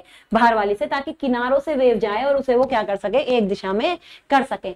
इन सब चीज़ों से बचने के लिए कि लेंथ में बाकी एरिया बेकार चला जाता है और हमें वेलोसिटी देखनी पड़ती है तो हमें कैसे जोन टाइप लेंस भी यहाँ पर यूज़ होते हैं। जोन टाइप लेंस में क्या होता है? ये लेंस जैसे ऐसे है ना, इसकी कटिंग कर दी जाती है। और जो एरिया यूज़ वाला है, केवल उतना ही एरिया को क्या करा जाता है? यूज़ करा जाता है। बाकी एरिया को यहाँ क्या कर दिया? हटा दिया। ठीक है? तो जोन टाइप लेंस कुछ इस तरीके के तुम्हारे होते हैं। इसमें क्या हो गया? यूजेबल एरिया यूज़ होता है। बाकी जो वेस्ट एरिया होता है, वो क्या नहीं होता? यूज़ नहीं होता। तो ये तुम्हारा नेक्स्ट कौन सा था। लेंस टाइप एंटीना अगला है तुम्हारा पैराबोलिक एंटीना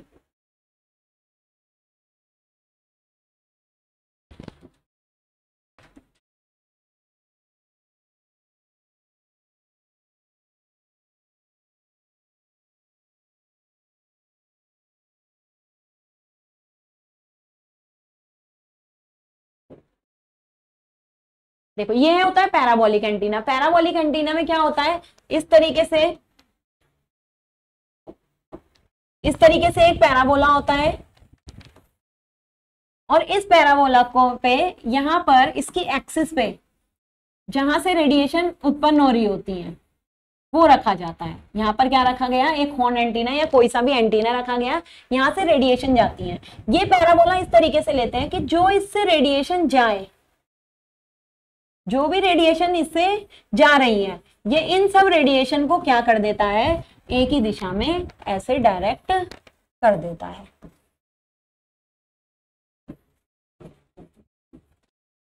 तो ये होता है पैराबोलिक एंटीने का वर्क कि पैराबोलिक एंटीने में हम फोकल पॉइंट को क्या रखते हैं, उसकी एक्सिस पर रखते हैं और जब इससे वेव जाती है तो वो क्या करती है पैराबोला से टकराकर सारी वेव को क्या कर देती है, सीधी कर देती है। इसलिए हमें स्ट्रक्चर कैसी लेनी पड़ती है पैराबोलिक अगर ये स्ट्रक्चर हम प्लेन ले लें और अब इससे फोकल पॉइंट से इस पर वेव जाए तो प्लेन लेने पर क्या होता है, ये वेव फैल जाती हैं। क्या नहीं होती? डायरेक्ट नहीं होती। तो इसलिए हम प्लेन वेव नहीं लेते, ना ही हम कॉर्नर वेव लेते हैं। मतलब कॉर्नर ऐसे भी नहीं लेते शेप अगर इस टाइप की शेप लेंगे, तब भी वेव तुम्हारी फैलेंगी। तो हम पैराबोला लेते हैं। पैराबोला क्या करता है? जब इसमें डिफरेंट डिफरेंट वेव्स इससे पड़ती हैं तो इन्हें रिफ्लेक्ट करके एक दिशा में कर देता है। तो parabola very high frequency ultra high frequency पे यूज़ करा जाता है सैटेलाइट कम्युनिकेशन टीवी कम्युनिकेशन में। और ये वेव को क्या कर देता है? सिंगल दिशा में रेडिएट करने का काम करता है। जैसे देखो, यहाँ दिखा रखा है। ये ना इसका फोकस फोकस से ये सिग्नल गए सिग्नल जाते हैं और उन्हें वो क्या कर देता है, किसी एक दिशा में एक्टिव कर देता है। तो ये हमारा किसका होता है? पैराबोलिक का डायग्राम होता है। एक तुम्हारा एंटीना लास्ट बच गया हॉर्न एंटीना हॉर्न एंटीना क्या होता है? इनकी जो शेप होती है, वो किस तरीके से रहती है? एक हॉर्न की तरह रहती है। देखो, ये हॉर्न एंटीना। शेप कैसी है? हॉर्न की तरह। ये ऐसी क्यों करी? क्योंकि एंटीने में होता क्या है? इसमें ना पीछे ये वेव गाइड लगे हुए वेव गाइड के आगे हमें क्या करनी पड़ती है? फ्लेयरिंग देनी पड़ती है। अगर हम यहाँ पर ये फ्लेयरिंग नहीं देंगे तो क्या होगा कि वेव अंदर से, एंटीने के अंदर से बाहर स्पेस में नहीं जा पाती। तो ऐसे हॉर्न टाइप स्ट्रक्चर बना के फ्लेयर बनाकर हम क्या करते हैं, जो बाहर का इंपिडेंस है और जो एंटीने का इम्पिडेंस है ट्रांसमिशन लाइन ट्रांसमिशन लाइन और एंटीने के इम्पिडेंस को हम क्या कराते हैं? मैच कराते हैं। क्योंकि एंटीना का यही काम है कि अगर इंपिडेंस मैच नहीं हुआ या रिफ्लेक्शन कॉफिशियंट अगर वन हो गया तो कभी भी वेव तुम्हारी क्या हो, नहीं हो पाएगी रेडिएट हो ही नहीं पाएगी। तो वेव के रेडिएशन के लिए ये शर्त होती है कि रिफ्लेक्शन कॉफिशियंट का मान एक नहीं होना चाहिए। या फिर ये कहो कि जो स्पेस का तुम्हारा इंपिडेंस है और जो ट्रांसमिशन लाइन का इंपिडेंस है वो इंपिडेंस क्या होना चाहिए? मैच करना चाहिए। अगर इंपिडेंस मैच करा दिया तो वेव क्या हो जाती है? आगे ट्रांसमिट हो जाती है। तो ये डिफरेंट डिफरेंट टाइप के जो हॉर्न की स्ट्रक्चर ली है ये क्या होते हैं? ये फ्लेयर हमने दिए हैं जिससे तुम्हारी क्या हो जाए बाहर के इंपिडेंस को अंदर के इंपिडेंस से क्या करा सके? मैच करा करा सके और जो वेव इनके अंदर से पास हो, वो क्या हो सके, दूर तक जा सके। तो इसके लिए हम क्या लेते हैं, ये हॉर्न एंटीना का यूज़ करते हैं। डिफरेंट डिफरेंट हॉर्न टाइप के लिए इसका मतलब जब एच प्लेन लेते हैं तो इसका मतलब एच की डायरेक्शन में फ्लेयर ज़्यादा करते हैं ई e की डायरेक्शन में फ्लेयर कब करते हैं। जब ई प्लेन सेक्ट्रल होन लेते हैं तो ई e की डायरेक्शन में फ्लेयर ज़्यादा करते हैं एच की डायरेक्शन में चौड़ाई कम रखते हैं। कॉनिकल वाला लेते हैं, इसका सारे डायरेक्शन में फ्लेयर कैसा रखते हैं? बराबर रखते हैं। पिरामिडिकल जो होता है, इसका ई e और एच दोनों की डायरेक्शन में फ्लेयर जो फ्लेयर होता है, वो कैसा होता है? बराबर होता है। तो ये तुम्हारा कौन सा एंटीना हो गया यहाँ पर? हॉर्न एंटीना यहाँ पर हो गया। हॉर्न एंटीना के बाद ये तुम्हारा एंटीना वाला चैप्टर खत्म हो गया। बस एंटीना के एरे के बारे में थोड़ा सा बता देते हैं। ये क्वेश्चन एक आ जाता है कि एंटीना के एरा एरे बताओ। एंटीने का फ़ेज़ एरे होता है। हम क्या करते हैं? कहीं भी बैठ के एंटीने का क्या कर सकते हैं? डायरेक्शन या पोलराइजेशन को चेंज कर सकते हैं। तो एंटीने के पोलराइजेशन डायरेक्शन या डायरेक्टिविटी को कंट्रोल करने के लिए क्या करा जाता है? फ़ेज़ एरे बनाया जाता है। फ़ेज़ एरे दो टाइप का होता है। एक ब्रॉड साइड फ़ेज़ एरे होता है, एक एंड फायर फ़ेज़ एरे होता है। तो देखो, ये नीचे वाला ब्रॉड साइड फ़ेज़ एरे है। और ये ऊपर वाला एंड साइड फ़ेज़ एरे है। तो हम क्या कर सकते हैं, इससे डायरेक्शन इसकी जो डायरेक्टिविटी है, उसको किसी कंप्यूटर पर बैठ के कंट्रोल कर सकते हैं। ये सारा हमारा किससे जुड़ा रहता है? माइक्रो कंट्रोलर से जुड़ा रहता है और वो माइक्रो कंट्रोलर हमारा कहाँ जुड़ा रहता है? सारी उसका सॉफ्टवेयर कंप्यूटर में जुड़ा रहता है। तो कंप्यूटर में बैठ के हम इसकी डायरेक्टिविटी को क्या कर सकते हैं? चेंज ब्रॉड साइड एरे में क्या होता है कि ये बहुत सारे एंटीना होते हैं, जो आपस में क्या है? कनेक्ट है। ब्रॉड साइड एरे में हर एक एंटीने से अगले वाले एंटीने को हम क्या कर देते हैं? सेम फ़ेज़ से जोड़ देते हैं। इसका मतलब एक छोड़ के एक आपस में कैसे जुड़ा रहता है? सेम फ़ेज़ में जुड़ा रहता है। और जो उससे अगला वाला एंटीना रहता है, वो उससे 180 डिग्री फ़ेज़ शिफ्ट पे रहता है। ऐसा क्यों करते हैं? ताकि इन दोनों के बीच में क्या ना आए, कोई भी इंटरफेरेंस नहीं आए। ये तो हम करते हैं ब्रॉड साइड एरे में। हर एंटीने के बीच की दूरी आपस में कितनी होगी? लैमडा बाई टू होगी। क्योंकि अगर लैमडा बाई टू होगी, तभी ये क्या कर सकता है? रेडिएशन को उत्पन्न कर सकता है। और टोटल दूरी भी एंटीने की कितनी होनी चाहिए? लैमडा बाई टू होनी चाहिए। ये है end fire array end fire array में क्या होता है? जितने भी एंटीना है, यहाँ तो सब एंटीने को एक ही सोर्स से सप्लाई दी थी, लेकिन क्या करा था? एक छोड़ के एक को कनेक्ट करा था प्लस से और दूसरे को कनेक्ट करा था माइनस से, ताकि इन दोनों के बीच में 180 डिग्री का फेस शिफ्ट आ जाए। लेकिन जो एंड फायर एरे होता है, इसमें हर एंटीने को हम क्या करते हैं? अलग अलग सोर्स से जोड़ते हैं। अलग अलग सोर्स से जोड़ोगे और अलग अलग सोर्स से इस तरीके से जोड़ते हो कि पहले वाले और दूसरे वाले में, या जो भी उससे अगला वाला एंटीना है, सब में आपस में कितने डिग्री का फेस शिफ्ट हो वन डिग्री का फेस शिफ्ट हो जाए। इसमें जो हमें रेडिएशन पैटर्न मिलता है, जो कंट्रोल करते हैं हम हॉरिजेंटल के लिए यूज़ करते हैं और ये वाला हम किसमें यूज़ करते हैं? वर्टिकल के लिए यूज़ करते हैं। लेकिन दोनों में ही सेम चीज़ हमें याद रखनी है कि जो यहाँ पर फेस शिफ्ट होगा, वो फेस शिफ्ट हमेशा करंट वोल्टेज के बीच में या इनके मैग्नेटिक फ़ील्ड या इलेक्ट्रिक फ़ील्ड के बीच में जो फेस शिफ्ट होगा, वो हमेशा कितने डिग्री का होगा? 180 डिग्री का फेस शिफ्ट यहाँ पर होगा। ये तुम्हारी कौन सी हो गई है? यूनिट थ्री यहाँ पर खत्म हो गई है। नेक्स्ट यूनिट तुम्हारी जो है, वो है यूनिट फोर यूनिट फोर तुम्हारी क्या है? रेडा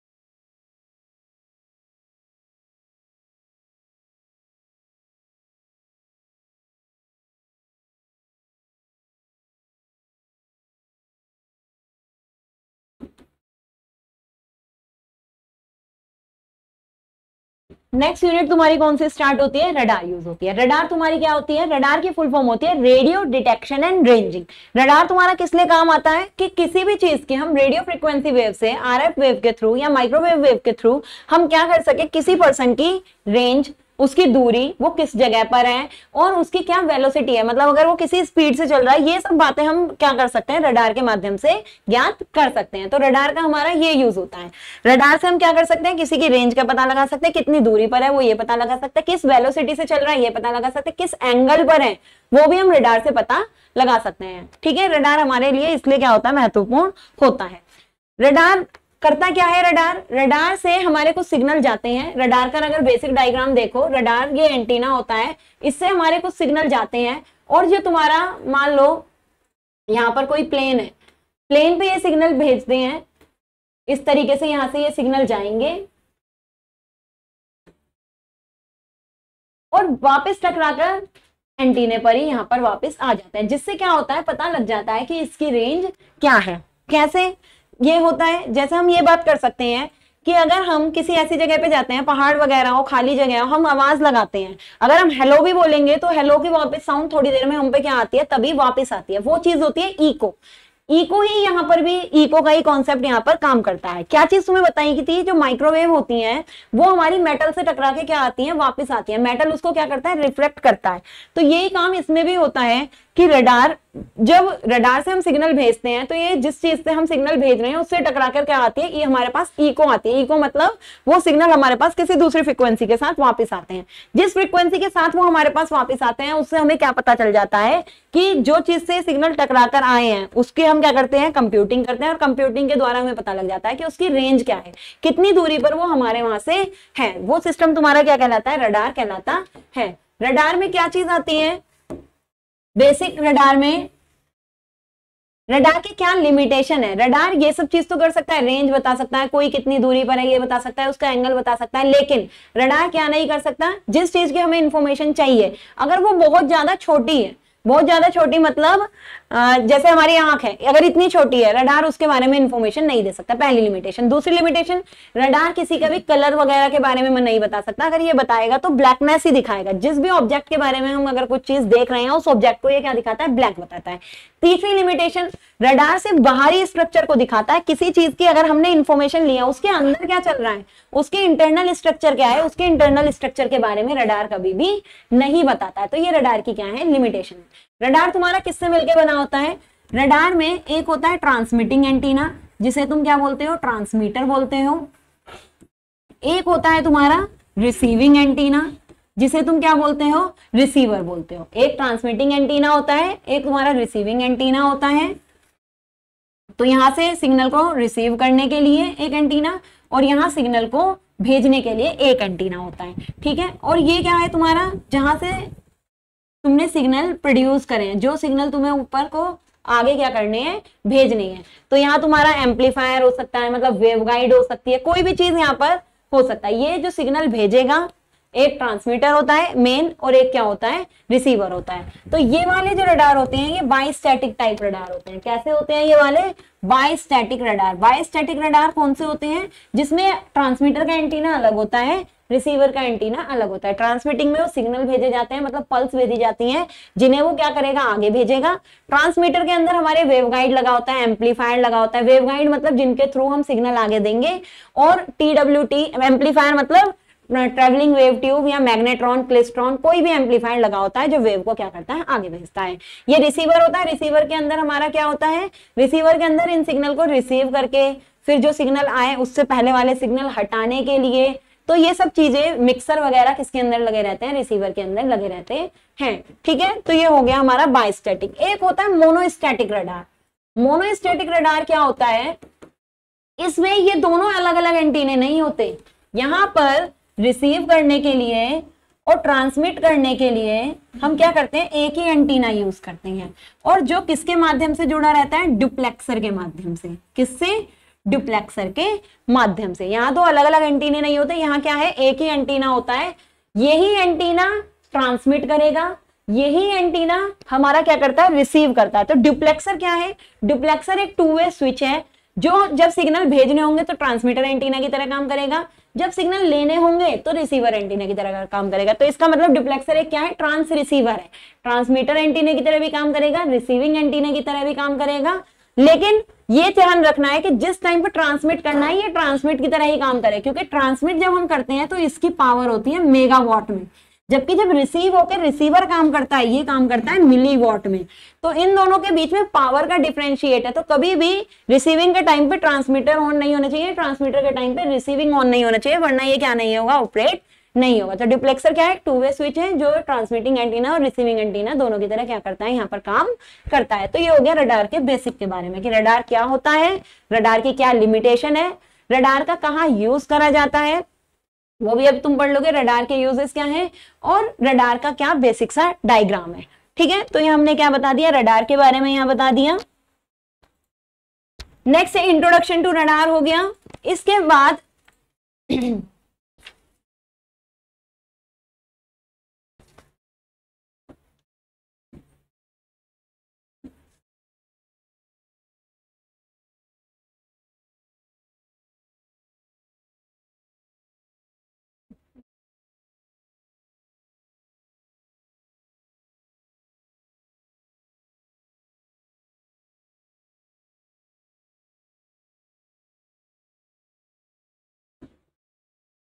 ये होती है रडार की इक्वेशन ये तुम्हारे एक एग्ज़ाम में आती है कि रडार क्या है, उसका डायग्राम बनाओ, ये रडार की इक्वेशन ये रडार की इक्वेशन होती है R max is equals to P T A के square sigma upon four pi lambda square S minimum की पावर वन बाय फोर तो क्या है इन सब की वैल्यू इससे तुम बता सकते हो कि रडार ये किस किस चीज़ों पर डिपेंड करता है.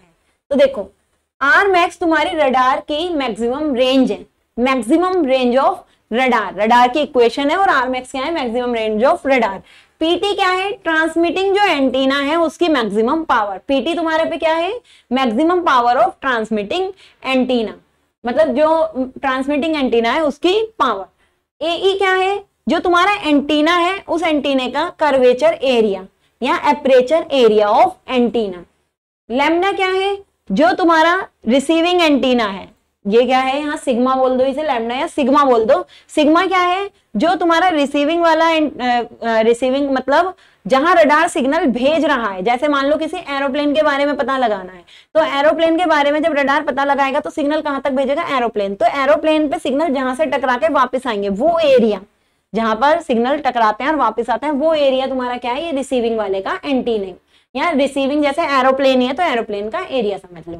फोर पाई तो कॉन्स्टेंट है लैमडा तुम्हारी वेवलेंथ है और एस मिनिमम क्या है? एस मिनिमम है जो प्लेन से टकराकर हमारे पास सिग्नल आए तो मिनिमम सिग्नल की वैल्यू जिसे रडार एक्सेप्ट कर सकता है और पता लगा सकता है उसकी रेंज के बारे में। वो मिनिमम सिग्नल की वैल्यू क्या है? एस मिनिमम है। ठीक है? अब देखो, ये इस पे कैसे डिपेंड करता है? क्या चीज़ यहाँ पे पता लग रही है कि जो आर है, वो डायरेक्टली प्रोपोर्शनल है पीटी की पावर वन बाय फोर के। यही तो चीज़ यहाँ पर कही। तो इसका मतलब कि रेंज पावर के ट्रांसमिटिंग पावर के डायरेक्टली प्रोपोर्शनल होती है। तो जो रेंज है मैक्सिमम रेंज और ट्रांसमिटिंग पावर के क्या होगी? डायरेक्टली प्रोपोर्शनल होगी। अगर तुम्हारी ये ट्रांसमिटिंग पावर क्या हुई? 16 यहाँ पर रख दी तो तुम्हारी रेंज क्या हो जाएगी? चार गुना रेंज यहाँ पर हो जाएगी। तो ये ट्रांसमिटिंग पावर के क्या है? डायरेक्टली प्रोपोर्शनल होती है। फिर तुम्हारी नेक्स्ट रेंज तुम्हारी और क्या होती है? एई के प्रोपोर्शनल होती है। एई के स्क्वायर का वन बाय फोर तो अगर वन बाय फोर कर दो डायरेक्टली प्रोपोर्शनल टू क्या है? ए स्क्वायर e इसका मतलब यहाँ पर क्या है? कि जो तुम्हारा एंटीने का एरिया है, अगर एंटीने का एरिया बड़ा होगा एपरेचर बड़ा होगा तो वो ज़्यादा वेव प्रोपोगेट कर सकता है ज़्यादा दिशा में। तो इसका मतलब रेंज भी फिर रडार की क्या होगी? बढ़ जाएगी। जितना ज़्यादा एरिया जितनी ज़्यादा रेडियो वेव प्रोपोगेट करेगा, उतना ही रडार की रेंज क्या होगी? अच्छी होगी। तो रडार की रेंज के भी ये डायरेक्टली क्या होता है? प्रोपोर्शनल होता है। फिर है सिग्मा की पावर वन बाय के प्रोपोर्शनल सिग्मा के भी प्रोपोर्शनल है। इसका मतलब क्या है? जो जिससे टकरा रहा है, मैंने तुम्हें क्या बताया था कि रडार जितनी छोटी रेंज जितना छोटा ऑब्जेक्ट होगा, उतना रेंज बेकार हो छोटी रेंज के बारे में नहीं पता लगा सकता। तो ऑब्जेक्ट जितना बड़ा होगा रडार की रेंज भी क्या होगी? रडार उतना ही अच्छा उसके बारे में क्या लग सकता है? पता लगा सकता है। तो एरिया ऑफ़ जो तुम्हारा ऑब्जेक्ट है, उसके डायरेक्टली प्रोपोर्शनल होती है रडार की range radar is inversely proportional to one by lambda. जो वेवलेंथ होती है, इसके डायरेक्ट रडार क्या है? इनवर्सली प्रोपोर्शनल है। इसका मतलब वेवलेंथ जितनी तुम्हारी छोटी होगी रेंज तब तो उतनी बड़ी होगी मतलब फ्रीक्वेंसी जितनी हाई फ्रीक्वेंसी के सिग्नल होंगे तो लेंथ छोटी होगी हाई फ्रीक्वेंसी के सिग्नल होंगे तो जल्दी तुम्हारे पास पहुँचेंगे तो रेंज अच्छी होगी। लेकिन लैम्डा जितना बड़ा होगा मतलब जितनी लो फ्रीक्वेंसी के सिग्नल होंगे, उतनी रेंज तुम्हारी क्या होगी? बेकार होगी। Next R is inversely proportional to S minimum की पावर वन बाय फोर इसका मतलब एस मिनिमम रिसीविंग पावर अगर एक मिनिमम रिसीविंग पावर से कम हो गई वो पावर तब तो तुम्हारी रेंज बेकार होगी। लेकिन अगर उस मिनिमम रिसीविंग पावर के अंदर तुम्हें मिल रही है तो तुम्हारी रेंज क्या होती है? अच्छी होती है। तो एस मिनिमम के क्या होता है? इनवर्सली प्रोपोर्शनल यहाँ पर होता है। एस मिनिमम क्या है? मिलने वाली मिनिमम पावर तो मिलने वाली मिनिमम पावर की ये क्या होगा? हमेशा इनवर्सली प्रोपोर्शनल होगी। रेंज अच्छी कब होगी? जब ये मिनिमम वाली पावर कैसी होगी? ज़्यादा होगी। अगर ये मिनिमम वाली पावर तुम्हारी क्या होगी? एक जो मिनिमम पावर है, उसकी पावर से कि जितनी भी अगर वो पावर है तो तो हमें ये रेंज मिलेगी। लेकिन अगर इस पावर से भी इसकी पावर क्या हो जाती है? चेंज हो जाती है तो हमें ये रेंज यहाँ पर नहीं मिलती है। तो रेंज हमारी इन इन चीज़ पे डिपेंड करती है। तो ये क्वेश्चन तुम्हारे इसमें है कि रेंज क्या होती है? रडार की और रडार की रेंज की इक्वेशन के बारे में बताइए। तो रडार की इक्वेशन की रेंज के बारे में ये होगी। अब तुम्हारी में है डिफरेंट टाइप्स ऑफ़ रडार तो तुम्हारी में कौन कौन से टाइप के रडार होते हैं? एक पल्स रडार है, एक कंटिन्यूस वेव रडार है और एक तुम्हारा डॉपलर रडार है। ठीक है? तो इन तीनों के बारे में ही तुम यहाँ देख लो। ये है तुम्हारा डॉपलर रडार या तो इसे डॉपलर रडार कहो या तुम्हारी बुक में होगा C W continuous wave radar ठीक है? डॉपलर रडार या continuous wave radar Doppler radar बताने से पहले या कंटिन्यूस वेव रडार बताने से पहले डॉपलर इफ़ेक्ट बताती हूँ, ये भी तुम्हारे एग्ज़ाम में क्वेश्चन आता है। डॉपलर इफ़ेक्ट क्या होता है? मान लो हम कहीं से रडार से वेव भेज रहे हैं और कोई तुम्हारा एरोप्लेन है, वो तुम्हारा क्या कर रहा है? मूव कर रहा है। जब हम कहीं से रडार से वेव भेजेंगे और एरोप्लेन तुम्हारा क्या करता है? मूव करता है। मूव करता है तो इसका मतलब उसकी गति क्या हो रही है? बदल रही है। जब उसकी गति बदलेगी तो जो वेव तुम्हारे पास से जा रही है, उन वेव से जो रिसीविंग सिग्नल मिलेंगे, वो तो बार बार रिसीविंग सिग्नल बेकार अलग अलग मिलते रहेंगे। तो यही तुम्हारा क्या कहलाता है? एक तरीके से डॉपलर इफ़ेक्ट कहलाता है। जैसे ऐसे बता सकते हैं। ये कोई एंटीना है, और यहाँ पर ये तुम्हारा कोई प्लेन है। ये प्लेन तुम्हारा क्या कर रहा है? मूव कर रहा है।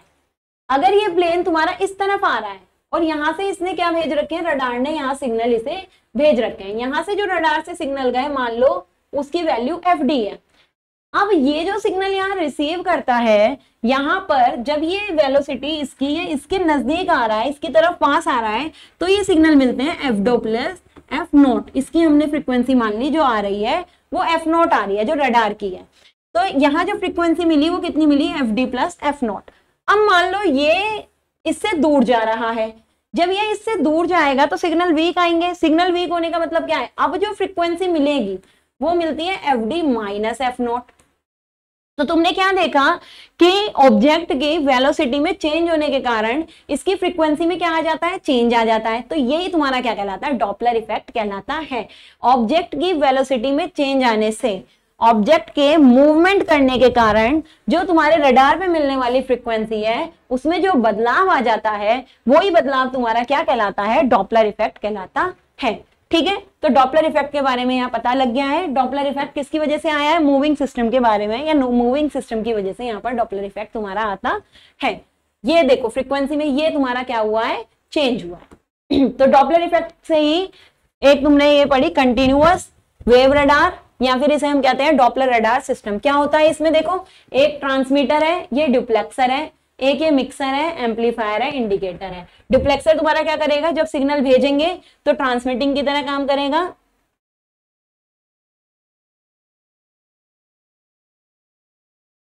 किसके अलग इक्वेशन दिए? इक्वेशन सबकी बुक में यही है। यही इक्वेशन ठीक है, बस सिंबल के नाम अलग हो सकते हैं। तो जो रडार की इक्वेशन है, वो यही है और सही है। किसी की बुक में नाम बस अलग हो सकता है एस मिनिमम की जगह कोई और नाम दिया होगा। अगर नाम को तुम ढंग से पढ़ोगे तो सेम यही चीज़ तुम्हें मिलेगी। अब देखो, यहाँ पे हम क्या देते हैं? कंटिन्यूअस वेव देते हैं। यहाँ ट्रांसमीटर से हम क्या देते हैं? कंटिन्यूअस वेव यहाँ पर हम देते हैं। जब कंटिन्यूअस वेव यहाँ पर देते हैं तो कंटिन्यूअस वेव हमारी किस पे जाती है? डुप्लेक्सर पे जाती है। एफ़ नॉट फ्रिक्वेंसी की हमने कंटिन्यूअस वेव दी। इस टाइम पे यहाँ डुप्लेक्सर किसकी तरह काम करता है? ट्रांसमिटिंग एंटीना की तरह काम करेगा। टी एक्स लिखा ना, दोनों एंटीना की तरह ये काम करता है। ट्रांसमिटिंग एंटीना की तरह काम करेगा। इनने ट्रांसमिट करा और ट्रांसमिट करके इसने जिस चीज़ की हमें क्या पता लगानी है लोकेशन पता लगानी है, वहाँ पे सिग्नल भेज दिए अब उस वाली चीज़ से टकराकर सिग्नल वापस आए तो टकराकर जब सिग्नल वापस आते हैं, अब ये डुप्लेक्सर किसकी तरह काम करेगा? रिसीविंग एंटीना की तरह काम करेगा। इसने ये सिग्नल अपने अंदर ले लिए तो जो टकरा कर ये वापस आए हैं फ्रीक्वेंसी कितनी हो गई? F naught plus F D अब यहाँ माइनस भी लगा सकते हो, क्योंकि ऐसा भी हो सकता है, वो चीज़ दूर जा रही हो। जब वो दूर जाएगी तो यहाँ माइनस का साइन आएगा, जब वो चीज़ पास आ रही हो तो इसका मतलब प्लस का साइन आएगा। तो यहाँ इसलिए प्लस माइनस दोनों यहाँ पर लगा दिए। तो इसने ये सिग्नल रिसीव करे, ये सिग्नल दिया इसने मिक्सर को। मिक्सर क्या काम करता है? जोड़ने, घटाने सारे काम करता है। तो ये यहाँ से मिक्सर के अंदर सेट होगा पहले से ट्रांसमीटर की दी हुई फ्रिक्वेंसी तो वो ट्रांसमीटर की दी हुई फ्रिक्वेंसी को यहाँ से क्या कर देगा? अलग कर देगा। तो एफ़ नोट को यहाँ से हटा देता है। बचती कौन है? खाली एफ़ डी अगर एफ़ डी के अंदर कोई नॉइज़ वगैरह भी है तो नॉइज़ वगैरह भी यहाँ पर हटा दी जाती है। तो उसको भेज दिया जाता है एम्पलीफायर एम्पलीफायर इसके पावर को जो ये इतनी दूर से आए हैं, इनकी पावर क्या हो चुकी होती है? वीक हो चुकी होती है। ये आगे ऑपरेट ही नहीं कर पाती हैं। तो एम्पलीफायर क्या करता है? इनकी पावर में चेंजेस करता है। नॉइज़ वगैरह है तो नॉइज़ वगैरह हटा देता है और उसके बाद इसे किसमें भेज देते हैं? इंडिकेटर में। इंडिकेटर यहाँ क्या काम करता है? इंडिकेटर अब नोट करता है कि हाँ जो हमारे पास सिग्नल आए हैं, वो थ्रेशोल्ड से इनकी वैल्यू कम तो नहीं है, इसके अंदर कोई नॉइस तो नहीं है, और जो सिग्नल आए हैं, वो कितनी दूरी पर है। इनके पास एफडी चला गया एफडी की हेल्प से। ये क्या पता लगा लेते हैं? वेवलेंथ के बारे में पता लगा लेते हैं वेवलेंथ से इसकी दूरी के बारे में पता लग जाता है। तो इंडिकेटर में ही पता लगता है फ्रिक्वेंसी के माध्यम से, कि जो वो चीज़, जिसने सिग्नल भेजे हैं, वो कितनी दूरी पर इससे है। तो इस तरीके से हमें रेंज के बारे में क्या पता हो रेंज के बारे में इस तरीके से हमें क्या हो जाता है, पता लग जाता है। तो ये कौन सा वाला रडार है? सी डब्ल्यू रडार ये तुम्हें बता दिया था डॉपलर इफ़ेक्ट के बारे में। नेक्स्ट है तुम्हारा पल्स रडार वो था सी डब्ल्यू रडार नेक्स्ट है तुम्हारा पल्स रडार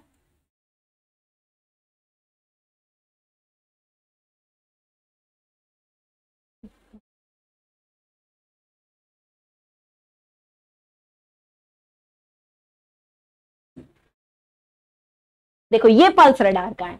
ये ऊपर वाला ट्रांसमिटिंग एंटीना है, नीचे वाला रिसीविंग एंटीना है। क्या इसके अंदर होता है पल्स रडार में? इसके अंदर पल्स भेजते हैं। इसके अंदर क्या भेजते हैं? पल्सेस के फॉर्म में भेजते हैं। तो ये ट्रिगर सोर्स है। ये ट्रिगर सोर्स क्या करता है? ऐसे, कुछ कुछ दूरी पर ऐसे ट्रिगर भेजता है। ठीक है? और नीचे से क्या भेजी जाती है? कंटिन्यूअस वेव भेजी जाती है। इसमें या नीचे से क्या भेजी जाती है? कंटिन्यूअस वेव भेजी जाती है। इस कंटिन्यूअस वेव और ट्रिगर से यहाँ पर क्या बन जाती है? ऐसे।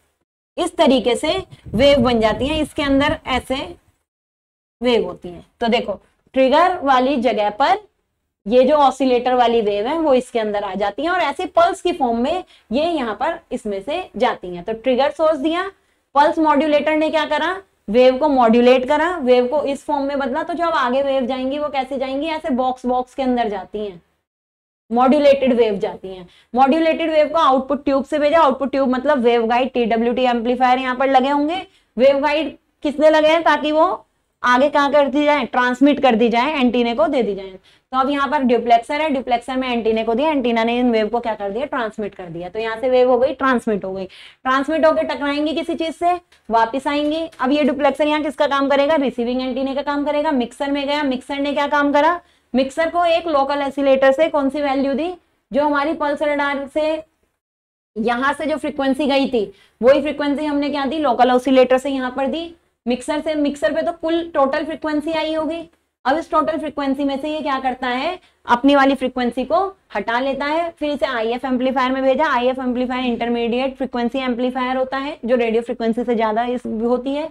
ये इसको यहाँ सिग्नल को क्या करता है? एम्पलीफाई करता है। नॉइज़ वगैरह कराती है नॉइज़ को डिटेक्ट करता है, हटाता है, उसके बाद डिटेक्टर के अंदर भेज देता है। डिटेक्टर के अंदर क्या होता है, अगर वीडियो में या ऑडियो में कोई भी तुम्हारा एम्पलीफिकेशन करने की ज़रूरत पड़ती है, उसे एम्पलीफिकेशन करके यहाँ डिस्प्ले करा देता है। मतलब एक तरीके से ये इंडिकेटर का यहाँ काम कर रहा है। तो ये तुम्हारा पल्स की फॉर्म में क्योंकि यहाँ इनपुट रडार पे दिया था तो ये वाला तुम्हारा कौन सा रडार हो गया? पल्स वेव रडार यहाँ पर हो गया, ठीक है? ये पल्स रडार हो गया। नेक्स्ट है तुम्हारा लास्ट एमटीआई रडार कौन सा रडार है तुम्हारा? एमटीआई रडार ये तीन ही रडार तुम्हारे कोर्स में है। ठीक है? तो ये तुम्हारा कौन सा? एमटीआई रडार है।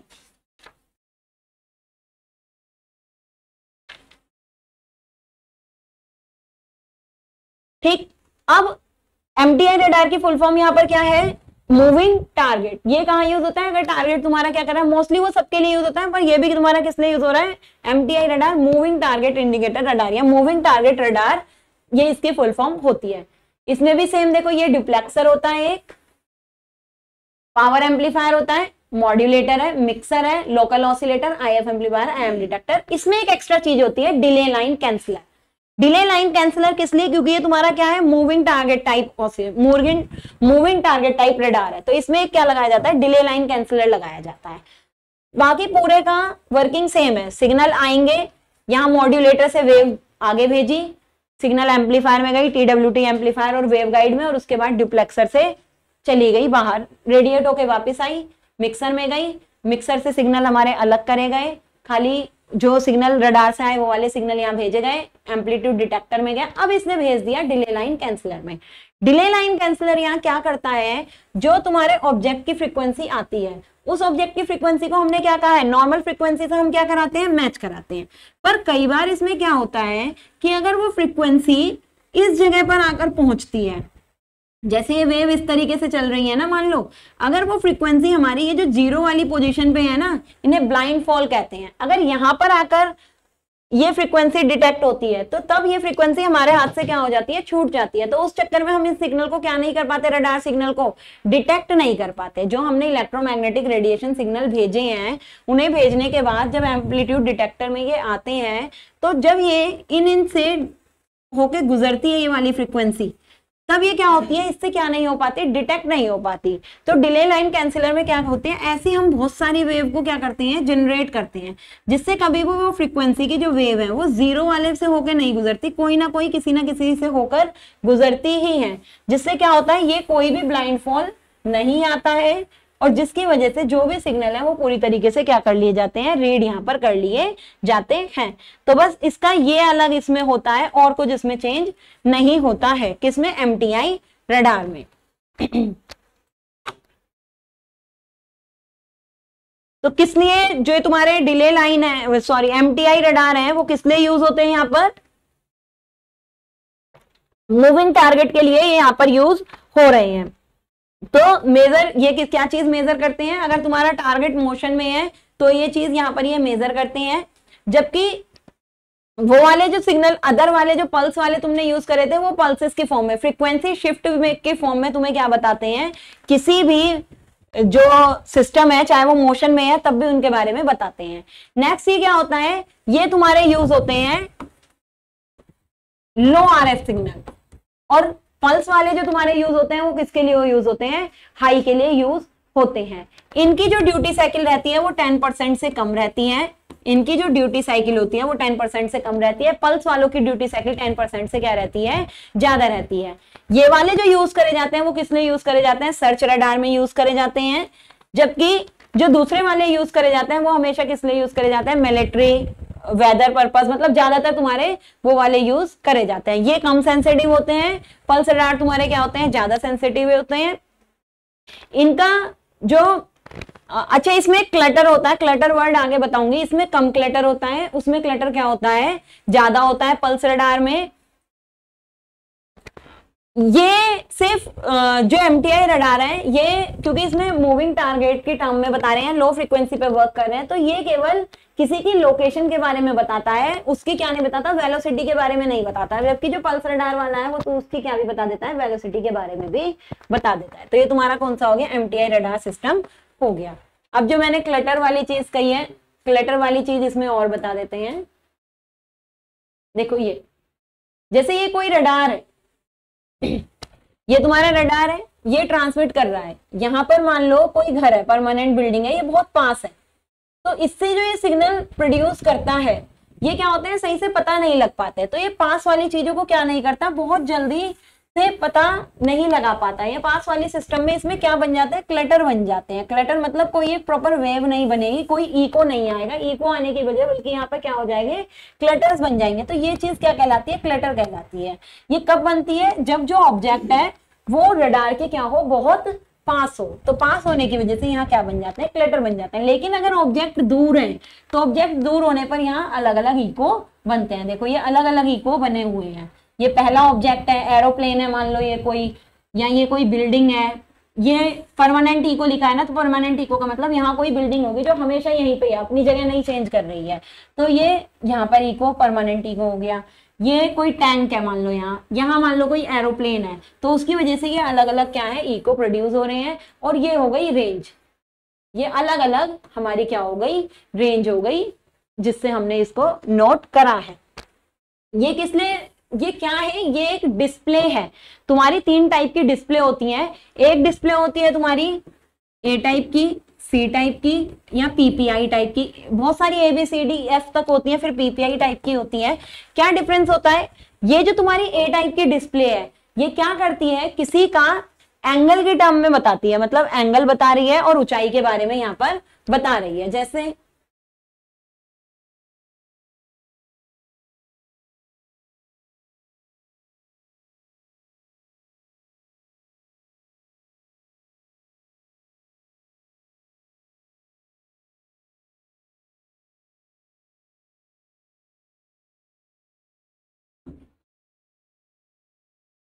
देखो, एक तुम्हारा ये होता है। इसमें क्या है? अगर रडार तुम्हारा यहाँ है, ये तुम्हारा क्या है यहाँ? रडार है, और ये टारगेट है तो ये टारगेट इस रडार से कितने एंगल पर है? वो ये बता देती है। तो ये तो हो गया, मान लो एक्स एक्सिस पे एजिमिथ एंगल एजिमिथ एंगल क्या होता है? सर्कुलर एंगल अगर किसी से सर्कुलर कोई एंगल ले रहे हैं, वो तुम्हारा क्या कहता है? एजिमिथ एंगल और ये है रेंज तो हमने क्या दिया? ये 60 किलोमीटर की रेंज में पहला ऑब्जेक्ट है जो कि 135 डिग्री पर है। तो हमें जो व्यू दिखेगा ना डिस्प्ले पे वो ऐसा दिखेगा। 135 डिग्री 60 पे। 2D व्यू दिखाता है ये वाला। ये हमें क्या दिखाता है? बी स्कोप ये बी टाइप डिस्प्ले है। ये हमें कैसे दिखाती है? 2D व्यू दिखाती है एंगल और रेंज के बीच में। अगर हमारी दूसरी लोकेशन ये है टारगेट की तो ये 80 किलोमीटर पे है, मान लो ये टारगेट और 270 डिग्री का कोण बना रहा है। तो 270 पे 80 किलोमीटर। तो टू जो इमेज दिखाती है, वो हमारी क्या कहलाती है? बी टाइप की बी स्कोप डिस्प्ले कहलाती है। तो ये तुम्हारी क्या है? बी टाइप की डिस्प्ले एक तुम्हारी डिस्प्ले होती है PPI display plane position plan position display कौन सी? प्लान पोजीशन डिस्प्ले तो प्लान पोजीशन डिस्प्ले क्या होती है? ये थ्री होती है। थ्री डी मतलब थ्री होती है। इसमें तीन या चार कोई भी चीज़ें बता सकते हैं। ये है देखो प्लान पोजीशन प्लान पोजीशन में क्या होता है? ये इसकी रेंज भी बताएगी। रेंज भी बताता है। वो तो टू डी थी, दो ही चीज़ें बताता है। रेंज भी बताता है एजिमिथ एंगल भी बताता है और एलिवेशन एंगल भी बताता है। और साथ के साथ ये यहाँ क्या भी बताने का काम करता है? स्पीड भी बता सकता है।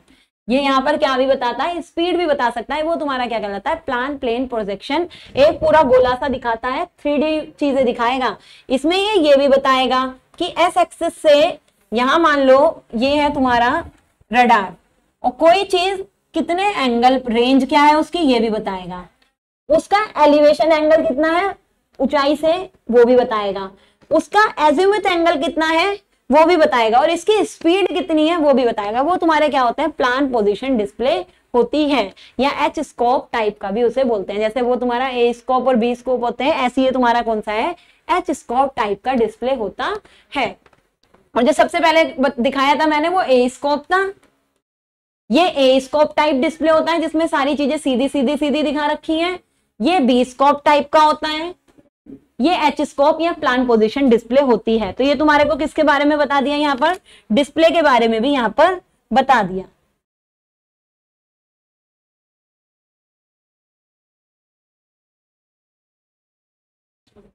तुम्हारे सिलेबस में दिया नहीं है डिफरेंट टाइप के रडार लेकिन एग्ज़ाम में आता है। एम टी आई रडार आया हुआ है पल्स रडार आया हुआ है सी डब्ल्यू रडार आया हुआ है। तीनों रडार आए हुए हैं, इसीलिए मैंने यहाँ पर तीनों रडार बताए हैं। डिस्प्ले के बारे में आया हुआ है इसलिए डिस्प्ले के बारे में बताया है। तो ये क्वेश्चन आए हुए हैं, जो क्वेश्चन मैंने तुम्हें यहाँ पर बताए हैं। ठीक है? जो चीज़ नहीं आई हुई, वो मैंने कुछ भी तुम्हें यहाँ नहीं बताया है। जो चीज़ आई हुई है, वही चीज़ मैंने यहाँ पर बता रखा है। नेक्स्ट है satellite communication last unit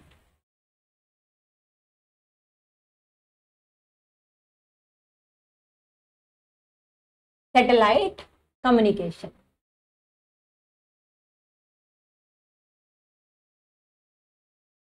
unit five.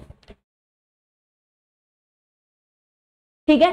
Satellite communication क्या होता है? जिसमें हम ग्राउंड से, अगर हमें बहुत लंबी दूरी पे कम्युनिकेशन करना है तो बहुत लंबी दूरी पे कम्युनिकेशन करने में क्या होती है? दिक्कतें आती हैं। क्या दिक्कत आती है? कि इतनी दूरी तक हम क्या नहीं कर सकते हैं? बहुत लंबी दूरी पर हम क्या नहीं कर सकते हैं? सीधी सीधी बात नहीं कर सकते हैं। या कोई ट्रांसमीटर अगर एंटीने से सिग्नल भेज रहा है तो बीच में कोई ना कोई लाइन ऑफ़ साइट बताई थी। लाइन ऑफ़ साइट में क्या आ जाती है? दिक्कतें आ जाती हैं। तो वो दिक्कतें आने की वजह से क्या नहीं हो पाती, हमारा कम्युनिकेशन नहीं हो पाता। तो बहुत लंबी दूरी पर अगर हमें कम्युनिकेशन करना है तो हम क्या करते हैं? सेटेलाइट का यूज़ करते हैं। सेटेलाइट का यूज़ मतलब एक ग्राउंड स्टेशन पे मान लो यहाँ कोई एंटीना है, और यहाँ तुम्हारी क्या है? सेटेलाइट है। इससे सिग्नल यहाँ जाते हैं। और यहाँ से सिग्नल तुम्हारे कहाँ आ जाते हैं? नीचे धरती पर आ जाते हैं। तो इस तरीके का जो कम्युनिकेशन होता है, वो तुम्हारा क्या होता है? सैटेलाइट कम्युनिकेशन होता है। जिस फ्रीक्वेंसी से सिग्नल सैटेलाइट पे भेजे जाते हैं, वो फ्रीक्वेंसी कहलाती है अपलिंक फ्रीक्वेंसी जिस फ्रीक्वेंसी से सिग्नल ऊपर भेजे जाते हैं, वो अपलिंक फ्रीक्वेंसी जिस फ्रीक्वेंसी से सिग्नल नीचे आती है, वो कहलाती है डाउनलिंक फ्रीक्वेंसी अपलिंक फ्रीक्वेंसी हमेशा डाउनलिंक फ्रीक्वेंसी से क्या रहती है? ज़्यादा रहती है। ताकि इन दोनों टाइप की जो फ्रीक्वेंसीज है, इनमें क्या ना आ जाए इंटरफेरेंस ना आ जाए तो इसलिए हमेशा अपलिंग फ्रीक्वेंसी को डाउनलिंग फ्रीक्वेंसी से क्या रखते हैं, ज़्यादा रखते हैं। दूसरा रीजन ये वाली फ्रीक्वेंसी हम ग्राउंड से भेज रहे हैं, ज़मीन से भेज रहे हैं तो इस वजह से हम पे हर टाइप का सोर्स होता है कि हम ज़्यादा से ज़्यादा फ्रिक्वेंसी को भेज सके या नीचे से ऊपर फ्रिक्वेंसी जाने में ज़्यादा फ्रीक्वेंसी की वेव होनी चाहिए ताकि वो क्या कर सके पेनिट्रेट करके सैटेलाइट तक पहुँच सके। इसलिए अपलिंक फ्रीक्वेंसी का मान क्या रखा जाता है? ज़्यादा रखा जाता है। जबकि यहाँ से सैटेलाइट तुम्हारे ग्राउंड पे फ्रीक्वेंसी भेज रहा है तो इसको क्या रखते हैं? एक तो इससे अलग रखनी पड़ेगी तो अलग तो हमने कर दिया। अलग भी हमें क्या करनी पड़ती है? कम करनी पड़ती है तो क्योंकि ग्राउंड से यहाँ पे हमारी पेनिट्रेट होकर इजीली क्या आ जाती है? ये ज़मीन पर आ जाती है। तो अपलिंग फ्रीक्वेंसी और डाउनलिंग फ्रीक्वेंसी क्या होती है, ये पता लग गया, और कितनी कितनी इनकी वैल्यू होती है, वो तुम्हें यहाँ पर बता दिया है। ठीक है? अब सैटेलाइट से रिलेटेड कुछ टर्म कि सैटेलाइट में क्या क्या टर्म होती है? एक होती है एक्टिव सैटेलाइट एक होती है पैसिव सैटेलाइट एक्टिव सैटेलाइट वो होती है जब हम सिग्नल ग्राउंड से सैटेलाइट पे भेजते हैं तो वो क्या करती है? उसमें प्रोसेस करती है। प्रोसेस का मतलब उन्हें रिसीव करना, उनमें एम्पलीफिकेशन करना, उनकी फ्रीक्वेंसी में चेंज करना और फ्रीक्वेंसी चेंज करके वापस ज़मीन पे भेजना। वो तुम्हारी क्या होती है? एक्टिव सैटेलाइट जो कुछ काम करेंगी सिग्नल को खाली रिफ्लेक्ट नहीं करेंगे। दूसरी होती है पैसिव सैटेलाइट पैसिव सैटेलाइट क्या होती है? जो ग्राउंड से सिग्नल को रिसीव करती है और खाली रिफ्लेक्ट करके भेज देती है, उनमें कोई भी प्रोसेस नहीं करती। जो सैटेलाइट कोई प्रोसेस नहीं करेगी, काम नहीं करेगी, वो पैसिव सैटेलाइट जो सारा प्रोसेस करेगी, सब काम करेगी, जिसमें ट्रांसपॉन्डर लगा रहेगा, वो तुम्हारी सैटेलाइट कौन सी होती है? एक्टिव सैटेलाइट होती है। नेक्स्ट चीज़ सैटेलाइट में ऑर्बिट होती है। सैटेलाइट में क्या होती है? ऑर्बिट होती है। कौन कौन सी ऑर्बिट सैटेलाइट में होती है? देखो, ये तुम्हारी अर्थ है। एक अर्थ के इस तरीके से घूमती है सैटेलाइट ये जो पोल के आसपास, ये अर्थ की क्या होती है? विश्वतीय रेखा होती है। ये अर्थ की क्या होती है? इक्विलेटरल रेखा होती है विश्वतीय रेखा। और ये होते हैं अर्थ के पोल जो बेल्ट इस तरीके से सैटेलाइट इसमें मूव करेगी, वो तुम्हारी क्या कहलाती है? पोलर ऑर्बिट कहलाता है। और जो इस तरीके से इस तरीके से सैटेलाइट मूव कर रही हैं। ये तुम्हारी होती है इक्विलेटरल ऑर्बिट विश्वतीय ऑर्बिट तुम्हारा ये कहलाता है। तो एक होता है तुम्हारा इक्विलेटरल ऑर्बिट और एक होता है तुम्हारा पोलर ऑर्बिट पोलर ऑर्बिट तुम्हारा क्या रहता है? इनकी ऊंचाई थोड़ी कम रहती है। जो इक्विलेटरल ऑर्बिट रहता है, इनकी जो ऊंचाई रहती है, वो तुम्हारी क्या रहती है? थोड़ी ज़्यादा रहती है। ये एक्स एक्सिस से ज़ीरो डिग्री पर होता है। पोलर ऑर्बिट एक्स एक्सिस से नब्बे डिग्री या जो भी पोलर ऑर्बिट मान लो हमने ऐसे ही थोड़ी बनाया, किसी एंगल पे ऐसे भी बना सकते थे। ये वाला ऑर्बिट तो ये पोलर ऑर्बिट 60 70 80 90 इन एंगल के बीच में पोलर ऑर्बिट तुम्हारे रहते हैं। पोलर ऑर्बिट पे हम क्या करते हैं? बहुत सारी असंख्य सैटेलाइट रख सकते हैं। इनकी जो दूरी होती है, वो पोल से कैसी रहती है? कम रहती है। जबकि जो ये वाली ऑर्बिट है, दूसरी वाली इक्यूलेटरल ये ऑर्बिट की जो दूरी रहती है, वो क्या रहती है? बहुत ज़्यादा रहती है और इसमें हम नंबर ऑफ़ सैटेलाइट कैसी रखते हैं? कम रखते हैं। ठीक है तो पोलर ऑर्बिट और इसके बारे में यहाँ बता दिया।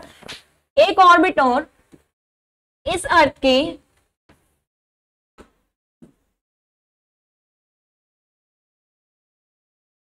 देखो, जैसे ये अर्थ है, इसमें तुम्हारी क्या रहती है? एक ऑर्बिट रहती है जो अर्थ के सबसे पास रहती है। सबसे पास मतलब 500 किलोमीटर के आसपास में। तो जो 500 किलोमीटर के आसपास में जो ऑर्बिट रहती है, उस वाली ऑर्बिट को कहते हैं लो ऑर्बिट इसमें हम क्या करते हैं? बहुत सारी सैटेलाइट इसमें रख सकते हैं, जिससे क्या होता है अर्थ की जो लोकेशन वगैरह है, उसके बारे में पता लगाया जा सकता है या जो भी कंट्री पोल के आसपास है, उन पोल के, उनका जो मोबाइल कम्युनिकेशन होता है, वो हमारा किसके द्वारा होता है? लो अर्थ ऑर्बिट के द्वारा होता है। जैसे रशिया वगैरह कंट्रीज़ हो गई, जो पोल्स के तुम्हारे क्या है? आसपास है। तो उनका कम्युनिकेशन भी हमारा किसके द्वारा होता है? एलईओ लो अर्थ ऑर्बिट के द्वारा होता है। नेक्स्ट आती है तुम्हारी मीडियम अर्थ ऑर्बिट तुम्हारी नेक्स्ट क्या आती है? मीडियम अर्थ ऑर्बिट तो जो लो अर्थ ऑर्बिट होती है, उसे हम क्या भी कहते हैं? पोलर ऑर्बिट भी हम उन्हें कह सकते हैं। नेक्स्ट होती है medium earth orbit medium earth orbit क्या होती है? जो 5000 किलोमीटर की रेंज में आती है। जो अर्थ से कितनी दूरी पर है? 5000 किलोमीटर की रेंज में है।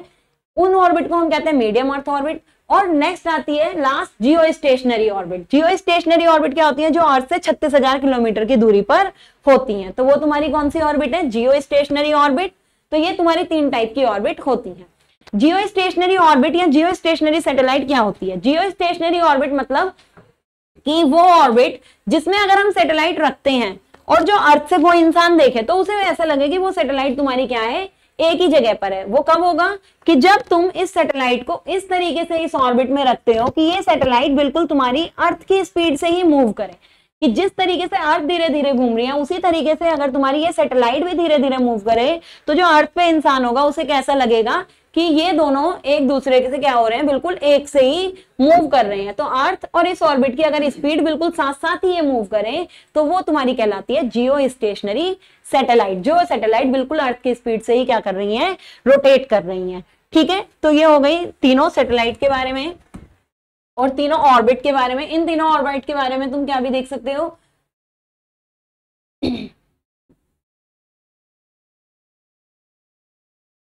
यहाँ पे ये डिफरेंस भी आप देख सकते हो। एक जियो स्टेशनरी होती है, जियो सिंक्रोनस होती है। जियो स्टेशनरी सेटेलाइट तुम्हारी कौन सी होती है?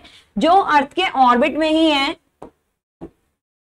ये अर्थ है। इसके ऑर्बिट में बिल्कुल एक्सिस से ज़ीरो डिग्री के एंगल पर है। वो तुम्हारी कौन सी है? जियो स्टेशनरी और जो किसी एंगल पर है पर है 3600 किलोमीटर की ऊंचाई पर ही, पर किसी एंगल पर है, वो तुम्हारी कौन सी होती है? जियो सिंक्रोनस होती है। तो क्या डिफरेंस है? ये भी 3600 किलोमीटर पे होती है, ये भी 3600 किलोमीटर पे होती है। दोनों का पीरियड भी बिल्कुल अर्थ के बराबर ही होता है, वो भी 24 घंटे में एक चक्कर पूरा करती है, ये भी 24 घंटे में एक चक्कर पूरा करती है। लेकिन ये अर्थ से ज़ीरो डिग्री पर रहती है। लेकिन ये जो रहती है ज़ीरो डिग्री पर नहीं, किसी एंगल पे रहती है तो ये टेढ़े इस तरीके से मूव करती है, जो तुम्हारी कौन सी है? जियो सिंक्रोनस ऑर्बिट होती है। ये तुम्हारी क्या रहती है? मोशनलेस होती है मतलब ये ऐसे लगता है जैसे क्या नहीं हो रही, घूम नहीं रही। बल्कि ये तुम्हारी क्या रहती है? इस तरीके से मिलती है कि हाँ ये अर्थ के चारों ओर क्या कर रही है? रोटेट कर रही है। चाहे जियो स्टेशनरी हो या जियो सिंक्रोनस हो, दोनों ही सैटेलाइट में क्या होता है कि जो पोलर होती हैं पोलर भी हमें बहुत सारी सैटेलाइट लगानी पड़ती है, चालीस पचास सैटेलाइट लगानी पड़ती है पूरी अर्थ को कवर करने के लिए। लेकिन जियो स्टेशनरी और जियो सिंक्रोनस क्या होती है? एक ही सैटेलाइट पूरी अर्थ का एक बटे तीन भाग कवर कर लेती है, जिससे क्या होता है, चाहे तुम जियो सिंक्रोनस यूज़ करो या जियो स्टेशनरी केवल तीन ही सैटेलाइट लगा सकते हैं और तीन सैटेलाइट लगाकर हम पूरी अर्थ को क्या कर लेते हैं कवर यहाँ पर कर लेते हैं। ठीक है? जो सबसे ज़्यादा यूज़ होती है जियो स्टेशनरी सैटेलाइट यूज़ होती है ट्वेंटी फोर बाय सेवन पूरा कवरेज रखती है। डीटीएच पर्पस हो वेदर फोरकास्टिंग हो कम्युनिकेशन हो डिजास्टर मैनेजमेंट हो, किसी भी टाइप की मिलिट्री एप्लीकेशन हो, हर चीज़ में क्या होती है हमारी जियो स्टेशनरी सैटेलाइट काम आती है। ठीक है? अब एक काम होती है एपोगी और पैरेगी वो और तुम देख लो एपोगी पैरेगी क्या होती है? जैसे कोई ये अर्थ है, और अर्थ से हमने ये कोई सैटेलाइट रखी। तो सैटेलाइट की अर्थ से जो मैक्सिमम दूरी होती है, वो कहलाती है एपोगी और सैटेलाइट की अर्थ से जो मिनिमम दूरी होती है, वो कहलाती है पैरेगी तो एपोगी और पैरेगी में तुम्हें पता लग गया होगा, ये तुम्हारा इस तरीके से सैटेलाइट मूव कर रही है. तो जिस टाइम सैटेलाइट अर्थ के सबसे पास होगी, वो डिस्टेंस पैरेगी जिस टाइम सैटेलाइट अर्थ से सबसे दूर होगी, वो तुम्हारी क्या कहलाती है? एपोगी और जितनी ऊंचाई पे तुमने सैटेलाइट को रखा गया है, वो उसका क्या कहलाता है? एल्टीट्यूड कहलाता है.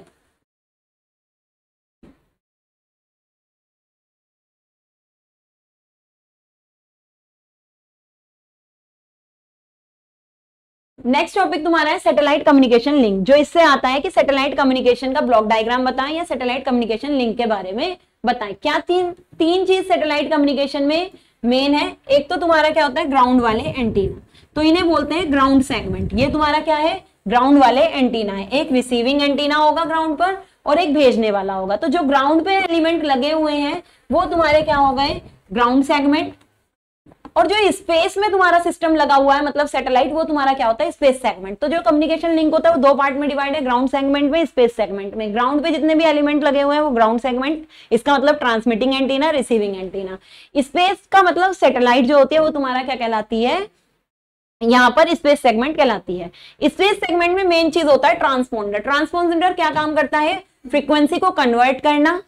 फ्रीक्वेंसी को एम्पलीफाई करना मतलब सिग्नल को फ्रीक्वेंसी कन्वर्ट करना सिग्नल की.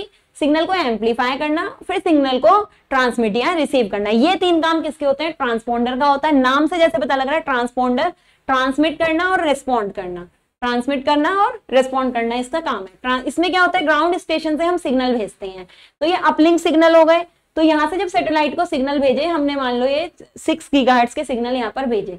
सिग्नल इसके अंदर जाते हैं सैटेलाइट सिग्नल सैटेलाइट अपने एंटीना से सिग्नल को क्या करती है? रिसीव करती है। अपने सिग्नल से जब सिग्नल को यहाँ पे सैटेलाइट रिसीव करेगी तो यहाँ सबसे पहले फ़िल्टर होगा। फ़िल्टर करके इसमें नॉइज़ वगैरह अगर कुछ भी है, वो क्या हो जाएगी? या अदर सिग्नल जो इसमें मिले हैं, वो दूर हो जाएँगे। इसके बाद सिक्स गीगा की हमें फ्रिक्वेंसी यहाँ पर मिल गई। इसके बाद हमने इसे मिक्सर में दिया। मिक्सर क्या करेगा? इस फ्रीक्वेंसी को कम करने का काम करेगा, क्योंकि हमें क्या करना है, ये फ्रीक्वेंसी कन्वर्टर की तरह काम कर रहा है। रिसीविंग पर हमें डाउनलिंक फ्रीक्वेंसी देनी है। तो जितनी डाउनलिंक फ्रीक्वेंसी हमें करनी है, उतनी के आसपास हम मिक्सर से इसे कर देते हैं। तो मिक्सर में हमने इसे फोर गीगा का कर दिया तो फ्रीक्वेंसी कन्वर्ट हो गई।